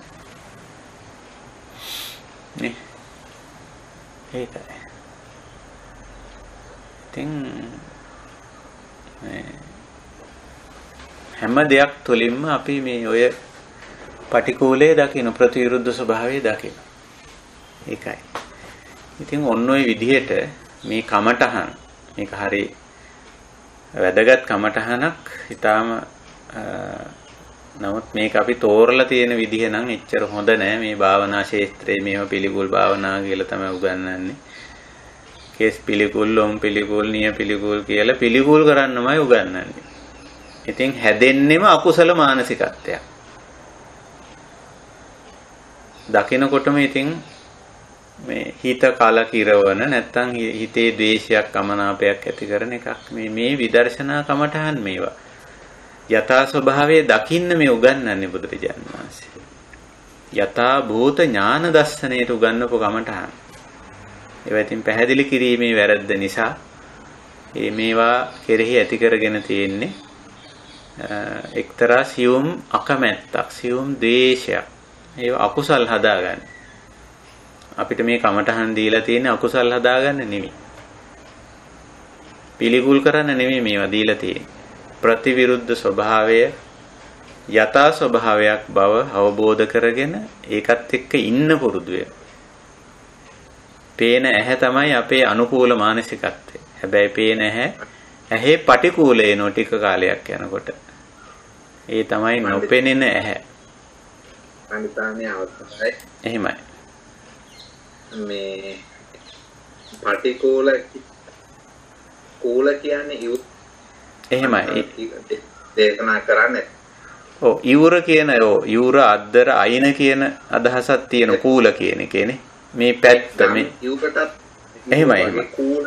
කූලය දෙන පාලි භාෂාවේ. එහෙමයි එතකොට මේ පටිකූල කියලා කියන්නේ අර ඉවුරට සමාන්තරව උඩට ඒ කියන්නේ ප්‍රතිවිරුද්ධ දිශා. ඔව් එහා යුර මෙහා යුරනේ ඉන්නේ අපි. පිළිකුල කියන වචනේ උනත් අපි යොදාගෙන තියෙන විදිය මම හිතන්නේ පරමල් අර්ථය ගන්න තියෙනවා. මම හිතන්නේ ව්‍යවහාරයට ගිහිල්ලා තියෙන්නේ පිළිකුල කියන්නේ අර මේ මානසින් ප්‍රතික්ෂේප කරන ගතිය. අර අර අන්නේ ඒක අර ජුගුප්සා ජන. ජුගුප්සා ජනක ගතිය තමයි අර විවාහාරයට ගිහිල්ලා තියෙන්නේ. එහෙමයි. පිළිකුල කිව්ව ගමන්ම ගන්නෙ මේ අර ජුගුප්සා ජනක බව. එහෙම. ඒක එන පිළිකුලට ඕවලැප් වෙලා දැන් අර්ථය වැහිලා තියෙනවා. අර්ථය වැහිලා තියෙනවා. එහෙමයි පන්දිත. ඒක හරි. ඉතින් ඒ පුන්නහමඳුර මතක් කරේ අදහස. ඉතින් ওই විදිහට අපි මේකේ ප්‍රතිවිරුද්ධ ස්වභාවය මේක ධර්මතාවයක් ස්වභාවයක් නේචර් ඒක ඉතින් අපි ඕක පිළිගන්න කැමති නෑ අපි ෆෝම් වෙලා තියෙන්නේ ආකෘතිගත වෙලා තියෙන්නේ අර අනුකූල පැත්තට තමයි. ඉතින් අපි ඒකත් එක්ක ගැටෙනවා. හොඳයි ඉතින් මම ඔය අද මේ විපස්සනා කමඨහන් වලින් කායානුපස්සනාවේ පටිකූල මනසිකාරය ගැන පමණයි කතා කරන්න බලාපොරොත්තු වෙන්නේ. මෙතෙන් සිට සාකච්ඡාවට එළඹෙන්න අපි කැමති වෙනවා. ඉතින් අපි බලන්න ඕන මේ අපේ මනසේ තියෙන මේ අනුකූල මානසිකත්වයන් කොයිතරම් අපි හදාගෙන තියෙනවද? ශරීරය පිළිබඳව ද්‍රව්‍ය භාණ්ඩ වස්තු පිළිබඳව. ඊළඟට අපි වටා අපි අපිත් එක්ක ජීවත් වෙන අනිත් මිනිස්යන්ගේ ශරීර. ඒගොල්ලන්ගේ සිතුම් පැතුම් ගැන ඒගොල්ලන්ගේ චර්යා රටාවන් ගැන. ඊළඟට අපි පාවිච්චි කරන ද්‍රව්‍ය භාණ්ඩ වස්තු ගැන. කාලගුණ දේශගුණ තත්වයන් පිළිබඳව. ඊළඟට තවත් එහාට ගියාම යම් යම් සමාජ තත්වයන් සමාජ වටපිටාවන් පිළිබඳව අපේ අනුකූල මානසිකත්වයන් රැසක් තියෙනවා. එක පැත්තකින් ඒක වැරදි කියලා අපිට කියන්න බෑ. නමුත් බුදුරජාණන් වහන්සේ අපිට පෙන්වා දෙන්නේ මේ අනුකූල මානසිකත්වයේ වැරදි කියන එක නෙමෙයි. මෙතෙන්දී අපි පටිකූලය එන බව පටිකූලයකුත් තියෙනවා මේකේ ප්‍රතිවිරුද්ධ ස්වභාවයකුත් තියෙනවා ඒක යම් මොහොතක ඕනෑම මොහොතක මතුවෙන්න පුළුවන් අන්න මතුවනාම අපි මේ ක්ලේශය හදාගන්න නැතුව ගැටලුව හදාගන්න නැතුව ප්‍රශ්න ඇති කරගන්න නැතුව ඒතෙන්ට ශක්තිමත් වෙන්න තමයි මේ පටිකූල මානසිකාරය කරන්න කියන්නේ නිතරම. ඉතින් ශාරීරියේ කොටස් 32ක් ආශ්‍රය කරගෙන තමයි ඕක කියලා තියෙන්නේ. ඉතින් ශරීරයේම මේ රූප ධර්ම සම්බන්ධයෙන් ගත්තම අපි එතනින් එහාටත් බහිද්ධාවටත් මේක ගෙනියනවා. ඉතින් ඒ විදිහටයි මේක යන්නේ. මේක මෙනෙහි කරලා බලන්න හොඳට මේ අනුකූල මානසිකත්වයන් කොච්චර තියෙනවද කියලා බලන්න අපේ ජීවිතේ. අද දවස පුරාම මේක බලන්න. අද දවසෙත් පුළුවන්, හෙට දවසෙත් පුළුවන්. අපි ආයි සාකච්ඡාවට ආයි අපි යමු වෙන්නේ හෙට නෙවෙයි අනිද්දාවේ. එතකම් බලන්න පුළුවන් කොච්චර අනුකූල මානසිකත්වයන් තමන්ගේ ශරීරය ගැන, තමන්ගේ ජීවිතය ගැන, තමන් ඉන්න ස්ථානය ගැන, තමන්ගේ වටපිටාව ගැන, තමන් එක්ක එකට ඉන්න පුද්ගලෝ ගැන, ඒගොල්ලන්ගේ ශරීර ගැන, ඒගොල්ලන්ගේ වැඩ ගැන, ඒගොල්ලන්ගේ ආකල්ප ගැන කොයිතරම් අනුකූල මානසිකත්වයන් හදාගෙන තියෙනවද? ඒකේ ඒ හැම එකේම පටිකූලේ නිතරම මෙනෙහි කරන්න. පටිකූලේ බලන්න. ඒක එන්න පුළුවන්ද? ඒක එන්න පුළුවන්. මම මගේ ශරීරයේ මේ මේ විදිහට පවතින්න ඕන කියන අනුකූල මානසිකත්වයක් හදාගෙන තිබුණට මම කැමතියි මේ ඇහැ පෙනිපෙනී තියෙනෝන. නමුත් ඕනම වෙලාවක නොපෙනී යන්න පුළුවන්. මේකේ ප්‍රතිවිරුද්ධ ස්වභාවයේ පටිකූලේ එන්න පුළුවන්. ඉතින් ඒක නිතරම මෙනෙහි කරලා තියාගත්තම ආවම අපිට හරි සැහැල්ලුවෙන් පිළිගන්න පුළුවන්. පටිකූලේ ආපුවම දැන් දන්න කෙනානේ මේ එන්නේ. අපි දන්නු මෙයා එනවා කියලා. ඉතින් ආපුවාම සැහැල්ලුවෙන් පිළිගන්න පුළුවන්. පටිකූලේ එන බව අපි දන්නවා. අර ඒක දන්නෙත් නැති කැමතිත් නැති පුද්ගලයාට හරි අමාරුයි පටිකූලේ ආපුවාම පිළිගන්න. ඒකෙන් පලා යන්න හදනෝ තල්ලු කරන්න බලනෝ ඒක නොවේවා කියනෝ නොඑක් ඉතින් ප්‍රශ්න ගැටලු. ඉතින් ඔන්න ඔහොමයි මේ බුදුරජාණන් වහන්සේ අපට උගන්වන මහා සතිපට්ඨාන දේශනාවේ කායානුපස්සනාවේ ඇතුළත් මේ පළවෙනි විදර්ශනා කමඨහන් යථා ස්වභාවය අවබෝධ කර ගැනීම විපස්සනා කියන්නේ අපි විපස්සනා නමින් සාකච්ඡා මාලාවක් කරගෙන ආවා. ඉතින් මෙතෙන්ට ආපුවාම අපිට පේනවා පටිකූල මානසිකාරය. හොඳයි. මම ඔතකින් මගේ සාකච්ඡාව හිමා කරලා අදහස් දැක්වීමට අපේ පුන්නහාමුදුර පළමුවෙන් ඉදිරිපත් වුණා. ඉතින් ඒ වගේ අනිත් ඇත්තන්ටත් අපි මේ ඉතිරි කාලය මේ ඇත්තන්ට ඉඩ තියෙනවා. තව දුරටත් මේ පිළිබඳව මේ අපි කරගෙන යන භාවනාව පිළිබඳව යම්කිසි අදහසක් ඉදිරිපත් කරන්න. ඒ වගේම ගැටලු ප්‍රශ්න තියෙනවා නම් ඒවා ඉදිරිපත් කරන්න අපි අවස්ථාව සලසනවා මෙතෙන් සිට. හොඳයි.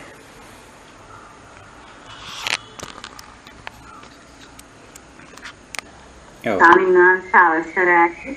මේ දැන් මේ ඉතිපාපත භාවනාව වගේම පටිකූල මානසිකාර්ය එදිනෙදා මේ එදිනෙදා මේ ජීවත් වෙන ගමන් අකින්න ඕන අකින්නට අකින එකද අපි භාවනාව කියලා එහෙමද අපිට හිතෙන්නේ.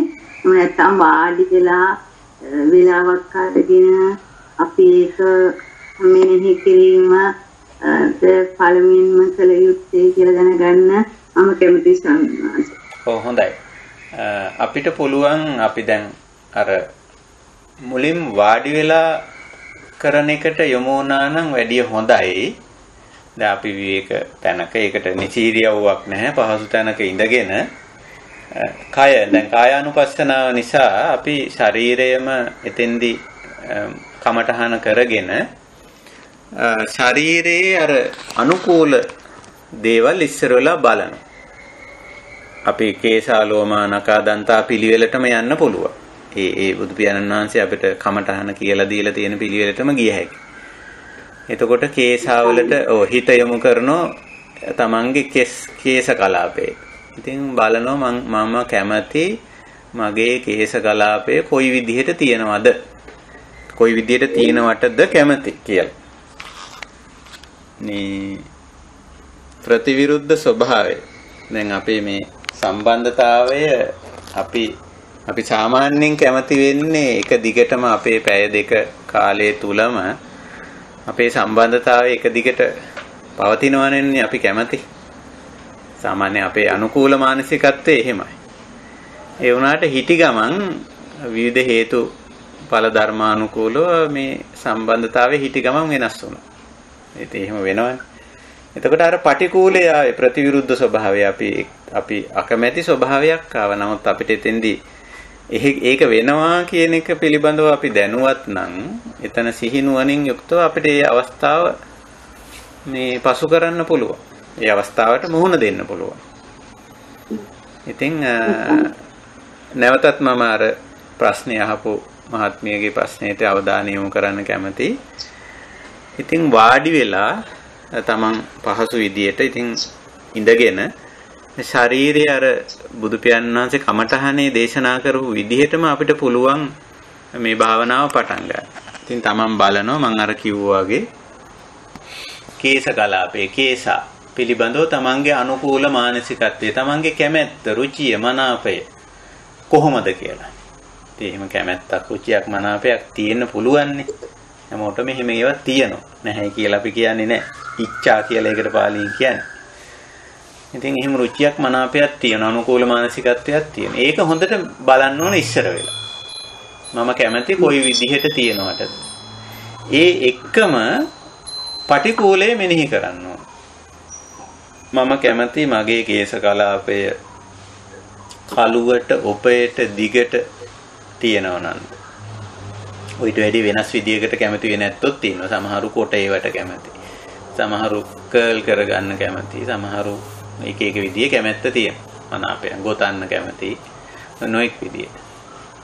ඉතින් ඒ කැමැත්තට ප්‍රතිවිරුද්ධ ස්වභාවය ඕන වෙලාවක එන්න පුළුවන්. ලෝම ශරීරේ ලෝම කොයි කොයි විදිහට තියෙනවද කියලා. නකා නියපොතු කොහොම තියෙනවද කැමති. ඒකේ ප්‍රතිවිරුද්ධය තමයි පටිකූලය කියන්නේ. නිතර. ඒක ඕන වෙලාවක එන්න පුළුවන්. දැන් වාඩි වෙලා ඉඳගෙන තමයි මේ මෙනෙහි කරන්නේ. ඒ වයිදී ඉතින් S2 පියාගන්න ඕනේ නැහැ. S2 පියාගන්න ඕනේ නැහැ. දැන් නකා කිව්වම Tamange නියපොතු ටික දිහා බලන්න පුළුවන්. බලලා මේ මගේ නියපොතු මේ 10ක් තියෙනවා. මේ 20ක් තියෙනවා. කකුල් වලත් ගත්තම ඉතින් මේවා කොයි විදියට තියෙනවටද මං කැමති. නමුත් ඒකේ ප්‍රතිවිරුද්ධ ස්වභාවය ඕන වෙලාවක එන්න පුළුවන්. දන්තා දත් ටික බලන්න පුළුවන්. කණ්ණාඩියෙන් තොරණ ටිකක් බලන්න පුළුවන්. අල්පා මගේ දත් ටික කොයි විදියට තියෙනවටද මං කැමති. ඉතින් ඒව ඒවට හදාගත්ත ආකෘතිත් තියෙන හරි පුදුම. ඒ කියන්නේ සමාජයේ ඉන්නේ සමහර ඒවා අපිට දෙන්නේ කොණ්ඩේ මෙහෙම තියෙන්න ඕන මූණ මෙහෙම තියෙන්න ඕන, දත් ටික මෙහෙම තියෙන්න ඕන, නියපොතු මෙහෙම තියෙන්න ඕන, ඇඟ මෙහෙම තියෙන්න ඕන, ආව මෙහෙම තියෙන්න ඕන කියලා සමහර වට ආකෘති හදලා දීලා තියෙන සමාජයේ. ඉතින් අපි දන්නේම නැතුව ඕවට යට වෙනවා. ඊට පස්සේ ඒ වෙන කෙනෙක් හදලා දීලා දෙන ආකෘතිය අපේ එකක් බවට පරිවර්තනය වෙනවා. අපි අර තත්ත්වාරෝපණය වෙනවා කියලා කාරණයක් කිව්වේ. ඇඳ ගන්නවා කියලා අපි ඕකට සාමාන්‍ය භාෂාවේ කියන්නේ. ඉතින් අපි ඇඳ ගන්න. කොහොම ඒවා තියෙනවා. නමුත් ඒ අනුකූල මානසිකත්වයට ප්‍රතිවිරුද්ධ පටිකූල මානසිකත්වය එනවා. ඉතින් මුළු ශරීරේම කොටස් ටික ওই 32 පිළිවෙලට අරන් බලන්න පුළුවන්. ඒක ඉතින් වාඩි වෙලා ඉඳගෙනම කරන්නත් පුළුවන්. එක තැන. එහෙම පුළුවන්. ඊළඟට වාඩි වෙලා ඉඳීමම අවශ්‍ය නැහැ. අනිත් දේවල් වල පටිකූලය මෙනෙහි කරන්න. අපි උදාහරණයක් හැටියට ගමු. දැන් අපි මොකක් හරි කපන්න පිහි අතට ගන්නවනේ. මොකක් හරි දෙයක් කපන්න පලා ටික ලියන්නේ ලෝලුවක් කපන්න වෙන දෙයක් කපන්න පිහි අතට ගන්නවනේ. දැන් අපේ මානසිකත්වය මොකද්ද පිහිය ගැන? පිහිය කැපෙන්න ඕනනේ. ඉතින් පිහිය අතට ගත්ත ගමන් පිහිය කැපෙන්න ඕන කියන මානසිකත්වය. ඒක තමයි අනුකූල මානසිකත්වය. ඉතින් නමුත් කපන්න මේක අල්ලලා කපනකොට පිහිය කැපෙන්නේ කවුරු හරි ඒකෙන් වෙන මොනවා හරි කපලා ඒක පිහිය මොට වෙලා. මොහත නැතුව ගිහින්. අන්න පටිකූලය ආවා. දැන් මොකද කරන්නේ? ඔන්න ඔතෙන්දි තමයි ඉතින් නිවන නැති වෙන්නේ. ඔතෙන්දි තමයි පත්තු වෙන්නේ. කවුද මේ පිහිය ගත්තේ? හ්ම්. ඒ එහෙම නැත්තම් ඒ තියෙන තැන නෑ සමහර වෙලාවට. අපි ඉතින් පිහිය හොයාගෙන යනවා. අපි දන්නු පිහිය අතන තියෙන. එතන තියෙන්න ඕනේ ඒ එහෙම තමයි. නමුත් තියෙන තැන නෑ බලපුවා. වෙන තැනක තියෙන. එතන ඇත්තෙම නෑ. ඒ නැත්තම් පිහිය ගත්තාම මේක මොට වෙලා කැපෙන්නේ. අන්න පටිකූලය ආවා. බාහිර දේවල් වලින් අපි බලන්නේ නේ ඉතින් මොකද කරන්නේ ඉතින් අපි සිහිනුවණින් යුක්ත නම් මේක සිද්ධ වෙන්න පුළුවන් දෙයක් බව දන්නවනම් හේතුඵල ධර්මානුකූල අවබෝධය නම් අපි ඒ අවස්ථාව බොහෝම සිහිනුවණින් ඒ අවස්ථාවට මුහුණ දෙන්න පුළුවන්. මං ඉතින් කපන දේ පැත්තකින් තියලා මං පිහිය මැද ගන්නවා. පිහිය මැදගෙන නැත්තම් මදින මට බැරි නම් වෙන පුළුවන් කෙනෙකුට දීලා මේ පිහිය පොඩ්ඩක් මැදලා දෙන්න. මේකෙන් අපි වැඩි කරගන්න. එතන ක්ලේශයක් උපද්ද ගත්තේ නෑ. මොකද දන්නෝ මේකේ ප්‍රතිවිරුද්ධ ස්වභාවය. හැමතිස්සෙම පිහිය මැදලම තියෙන්නේ නෑ. මොට වෙනවා ඒක කපන්න කපන්න. ප්‍රතිවිරුද්ධ ස්වභාවය අර පටිකූල ඒක තුලිනුත් දකින්න. අන්න ද්‍රව්‍ය භාණ්ඩයක් වස්තුවක් තුලින්. අපි වැඩක් කරන්න වත්තට ගියා කියන්නේ හිතන්න. ඉතින් අපි වැඩේ කරන්න හිතාගෙන යන්නේ. හොඳට පායලා තියෙන වහිනෝ මැදදී. අන්න අපි අකමැති ස්වභාවය ආවා. ගමනක් යනවා ඉතින් උඩේ ගෙනියන්නෙත් නෑ යනවා ඉතින් පායලානේ තියෙන්නේ. වහින වැස්සක් නෑනේ කිය. මගදී වහිනෝ ප්‍රතිවිරුද්ධ ස්වභාවය ආවා. සුබාධමේ දේවල්. ද්‍රව්‍ය භාණ්ඩ වස්තු පරිහරණය කරද්දී ප්‍රතිවිරුද්ධ ස්වභාවය එනවා. පුද්ගලයෝ පුද්ගලයෙක් හමු වෙන්නේ යන්නේ අපි නිතරම අනුකූල මානසිකත්වයේ ඉන්නේ. මෙයා මගේ වැඩේ කළා දෙයි. මට මේ උදව්ව කරයි. ඔහොමනේ අපි යන්නේ නිතරම. සේවා ස්ථානයකට, කාර්යාලයකට නැත්නම් පුද්ගලිකව පුද්ගලයෙක් මුණ ගැහෙන්න යන්නේ. ඒ අනුකූල මානසිකත්වයෙන් අපි යන්නේ. හැබැයි ගියාම පටිකූල තත්වයේ උතන උදා වෙලා තියෙන්න පුළුවන්. ආහා අද බෑ අද බෑ මේවා කරන්න. මේ මේක අඩුපාඩුයි මොනවා හරි කියලා ඒ වැඩේ ප්‍රතිවිරුද්ධ ස්වභාවය අපි අකමැති ස්වභාවය එතන මතුවෙන්න පුළුවන්. හැබැයි අපි කෙලෙස් උපද්ද ගන්න නැතුව ඒ කටයුත්ත කරන්න පුළුවන්. එහෙනම් ඔබතුමී මගෙන් අහපු ප්‍රශ්නෙට අනුව ගත්තොත් එක පැත්තකින් අපිට මේ පටිකූල මානසිකාරය වඩන්න පුළුවන් වාඩි වෙලා. එතෙන්දි තමන්ගේ ශරීරයේ කමටහන කරගන්න පුළුවන්. වාඩි වෙන්න ඕනෙත් නෑ අපි ද්‍රව්‍ය භාණ්ඩ වස්තු පරිහරණය කරනකොට පුද්ගලිව ආශ්‍රය කරනකොට වැඩවල යෙදෙනකොට කාලගුණ දේශගුණ තත්ත්වයන් එක්ක ඉන්නකොටත් ඒකේ ප්‍රතිවිරුද්ධය පටිකූලය මෙනෙහි කරන්න පුළුවන්. දැන් පැහැදිලිනේ කමටහන වඩන හැටි. සාමාන්‍යයෙන් ගොඩාක්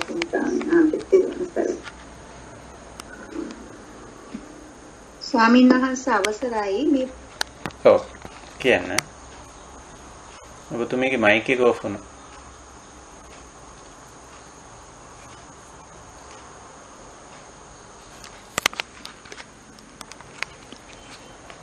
ස්වාමීන් වහන්සේ මේ පටික්කුල ඔව් පටි පටික්කුල මානසිකාරයෙන් මේ ජීවිතය සහ ද්‍රව්‍ය භාණ්ඩ ගැන අවබෝධමත් වන විට උපාදානීය නොවීම නිසා ස්වභාව ධර්මයටම අතහැරී යනවා බවක් පේනවා නොවේද? ඔව් ඒක හරි. පටිකූල මානසිකාරයේ තුලින් අපි අවබෝධ කරගන්නේ යථා ස්වභාවය. අර ප්‍රතිවිරුද්ධ ස්වභාවය කියන්නේ මොහොක හරි තියෙන වැරද්දක් නෙවෙයි. ඒකේ තියෙන යථා ස්වභාවයනේ ඇත්ත తත්වයනේ. සුදු එක කළු වෙන එක යථා ස්වභාවය. හොඳට තියෙන එක කැඩෙන එක යථා ස්වභාවය. එතන අපි තමයි අර අනුකූල මානසිකත්වය කියලා එකක් හදාගෙන තියෙන්නේ. නමුත් මේ දෙකේම තියෙන සුචියයි අසුචියයි දෙකම ඒක යථා ස්වභාවය. වර එක හොඳට පෙනි පෙනී තියෙන හැ සහ නොපෙනී යන හැ. දෙකම යථා ස්වභාවයනේ. එතකොට අපිට ඒක යථා ස්වභාවයේ විදිහටම තේරුම් අරගෙන පිළි අරගෙන අපි දෙයකට යථා ස්වභාවය දැකලා අවබෝධ වෙලා පිළි අරගෙන දැන් ඔබතුමී පාවිච්චි කර වචනේ යථා ස්වභාවයටම අතහැරලා දාන්න පුළුවන් කියලා. ඇත්තටම පුළුවන්. අන්න ඒ ගුණයටයි බුදුරජාණන් වහන්සේ අර තථාගත කියලා කිව්වේ. තථාගත අර තතතාවටම ගියා. යථා ස්වභාවයටම ගියා. ඒකම පිළිගත්තා. ඒක බාරගත්තා. සතිපට්ඨාන දේශනාවේ අනිශ්චිතෝ ච විහෙරති කිව්වෙත් ඒකමයි. අනිශ්චිතෝච විහෙරති. ඔව්. ඒක හරි. ඒ යථා ස්වභාවය තේරුණා. ඒ යථා ස්වභාවයට මේක අතහැරලා දාන්න පුළුවන්. නේ ප්‍රතිවිරුද්ධ ස්වභාවය ආපුවාම පිළිගන්න පුළුවන්. ඒක එක්ක ගැටෙන්නේ නැතුව. ඒකත් එක්ක ඇලෙන්නේ නැතුව ඉන්න පුළුවන්. ඒකයි. එහෙමයි සයින්හන්ස්. හොඳයි එහෙනම් අපි අදට මේ අපේ සදාම් හමුවට ගන්න පුළුවන් කාලය නිමා වෙලා තියෙනවා. අපි උදෑසන 6ට කාලයයි මේ සඳහා වෙන් කරගෙන තියෙන්නේ. ඉතින් මම හිතනවා ඒ කාලය නිමා වෙලා තියෙනවා. අද අපි සතිපට්ඨාන නැත්නම් සිහිනුවණින් යුක්ත ජීවිතේ ගොඩනගන්නේ අපි මේ. මේ ඇලීම් ගැටීම් මුලාවීම් සිද්ධ වෙන්නේ සිහිනුවණ පවත්ව ගන්න බැරි වුණාම. ඉතින් අපි සිහිනුවණ දියුණු කරලා සාමාන්‍ය දිනදා ජීවිතයේ වැඩ කටයුතු පිළිවෙලට ගැටුම් නැතුව කරනවා විතරක් නෙවෙයි ඊට වඩා ගැඹුරු තලයකට ගිහිල්ලා යථා ස්වභාවය අවබෝධ කරගන්නත් අපිට උපකාරී වෙන්නේ මේ සිහිනුවණමයි. ඉතින් ඒක දැන් අපි මේ පැත්තට ඔන්න යොමු වුණා. දැන් අපි අර ආනාපාන සති ඉරියාපත සති සම්පජඤ්ඤ සති මගින් එක්තරා කෘතිම විදිහකට මේක පටන් අරන් ස්වභාවිකත්වයට ඇවිල්ලා එදිනෙදා ජීවිතයේ ස්වභාවිකව මේ සිහිනුවණින් ගත කරන්න හුරු වුණු අපි තවත් අපේ අවසාන පියවර ඉදිරි පියවරට යනවා අර නාම රූප ධර්ම වල යථා ස්වභාවයත් අවබෝධ කරගනිමින් ඉන්නවා. එතකොට අපි අද කායානුපස්සනාවෙන් යොමු වුණේ රූප ධර්ම පැත්තට. මේ කය කියන්නේ රූප ධර්මයට අයිති දෙයක්. අජ්ජත් කාය වෙන්නත් පුළුවන්, බහිද්ධාවා කාය වෙන්නත් පුළුවන්. කොයි එකත් රූප ධර්ම පැත්තටයි වැටෙන්නේ. දැන් ඔන්න අපි කය මූලික කරගෙන රූප ධර්ම වල යථා ස්වභාවය අවබෝධ කර ගැනීමේ පැත්තට අපි දැන් යොමු වුණා. විපස්සනා. ඇතිතත්. ඉතින් අපි උතන දෙකක් දකින එකක් තමයි අපේ මේ අනුකූල මානසිකත්වය. ඒකේ එක්තරා විදිහක සමහර තැනකදී අපිට සාධාරණීකරණය කරන්නත් පුළුවන්. නමුත් සමුගාක් තැන්වලදී බලපුවම මේ අනුකූල මානසිකත්වයේ මහ විකෘතියක්. පිස්සුවක්. නහ වැඩකට නැති මෝඩ අදහස් තියාගෙන ඒව එක්කෝ අර වාණිජත්වයෙන් වෙළඳ සමාජයේ විසින් හදලා දෙන මහා පුහු ආකෘති. මේක මෙහෙම වෙන්න ඕන මේ විදිහටම තියෙන්න ඕන වෙනස් වෙන්න බෑ. අපේ මෝඩකමට අපිත් ඕක කර තියාගන්න. ඉතින් ඒවා දිහා හොඳට බලන්න ඉතින් බලපුවාම අපිට ඔය ඒ ඒ අනුකූල මානසිකත්වයක් අත්හැරලා දාන්න පුළුවන් සුචිය. සුචිය. ඊළඟට ඕකේ ප්‍රතිවිරුද්ධ ස්වභාවය, පටිකූලය, අසුචිය. එනකොට අපි ඒක අවබෝධ කරගන්න. ඒක මේකෙම කොටසක් හැටියට. මේ මේකේ ප්‍රතිවිරුද්ධ ස්වභාවය අවස්ථා දෙකක් ඇත්ත වශයෙන්ම ගත්තොත්. ඉතින් ඒක නිසා අපි දකින්නේ එතන යථා ස්වභාවය. ඉතින් මේ විදිහට භාවනා කමටහන වඩන විදිහත් අපි කතා කරා පරියංකේ ඉඳගෙන එමත් පුළුවන්. ශරීරයේ කමටහන කරගෙන ඊට පස්සේ එදිනෙදා වැඩ කරන ගමනොත් ඒවයි යථා ස්වභාවය පිළිබඳ මෙනෙහි කරන්න පුළුවන්. යථා ස්වභාවය දැක්කම අපි පටිකූලේ ආවට ගැටෙන්නේ දුක් වෙන්නේ කනගාටු වෙන්නේ රණ්ඩු කරන්නේ ඇලෙන්නෙත් නැහැ. සමහරට ප්‍රතිවිරුද්ධ ස්වභාවය කියන්නේ ඇලෙන ස්වභාවයක් වෙන්න පුළුවන් ගැටෙන ස්වභාවයම නොවෙන්න පුළුවන්. ප්‍රතිවිරුද්ධයි. ඉතින් එහෙම වෙන්න පුළුවන්. ඉතින් මේ දෙපැත්ත දකින්න එක මේක හරියටම කිව්වොත් දෙපැත්ත දකින්න එක. සමුදය වය. විපරිණාමය අවිපරිණාමය ඔය වගේ දකින්න පුළුවන් අපිට. දෙපැත්ත දකින්න එක. ඉතින් හොඳයි.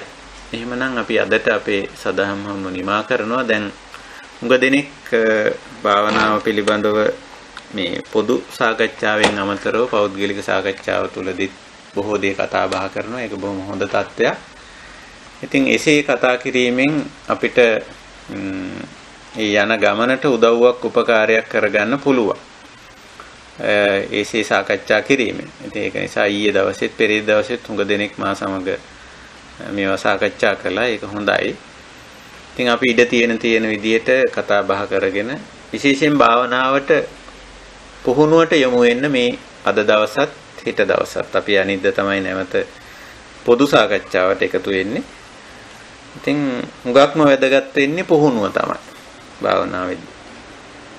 විශේෂයෙන් අපි කරන්නේ මේ මනස පැත්ත සකස් කරගන්නවා. ඒක සකස් කරගත්තම ඔය පටිකූල මානසිකාරය කරනකොට කරනකොට මනස අපේ නිසි තැනට එනවා.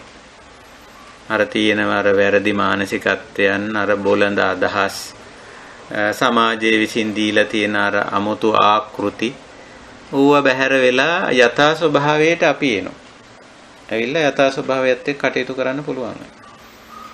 ඒක නිසා භාවනාවේ යෙදෙන්න පරියංකේ වාඩි වෙලා ඉඳගෙන කරන්න පුළුවන්. එහෙම කරන්න සාමාන්‍ය ජීවිතය තුළ එහෙම කරන්න. දෙවිදියටම ඔය පටිකූලේ ප්‍රතිවිරුද්ධ ස්වභාවය මෙනෙහි කරන්න පුළුවන්. නිකම්ම මෙනෙහි කිරීම විතරක් නෙවෙයි ඒකට මුහුණ දීම මෙතන විශේෂත්වය. ප්‍රතිවිරුද්ධ ස්වභාවය ආපුවාම ඒකට මුහුණ දෙන්න ඕනේ. පලා යන්න බෑ. ඒකට මුහුණ දෙන්න ඕනේ. මුහුණ දීමේදී තමයි මේ අවස්ථාවේ තමයි කෙලෙස් උපදින්නේ.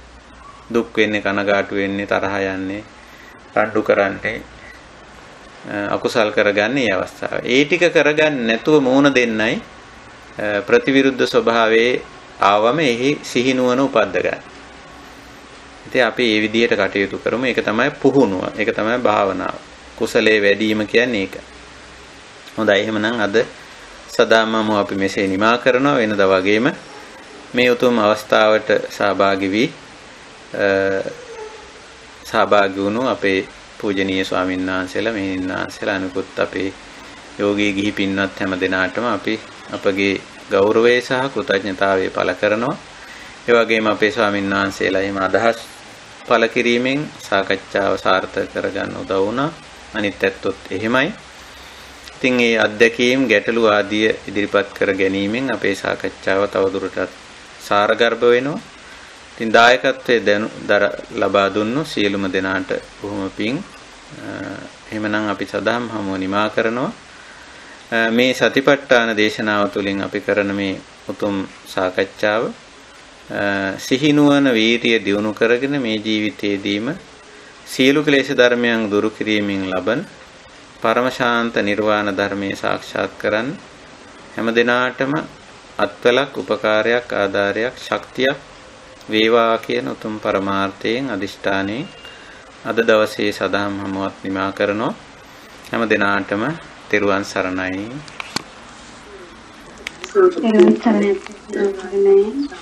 තෙරුවන් සරණයි. ස්වාමීන් වහන්ස තෙරුවන් සරණයි. සුවපත් වේවා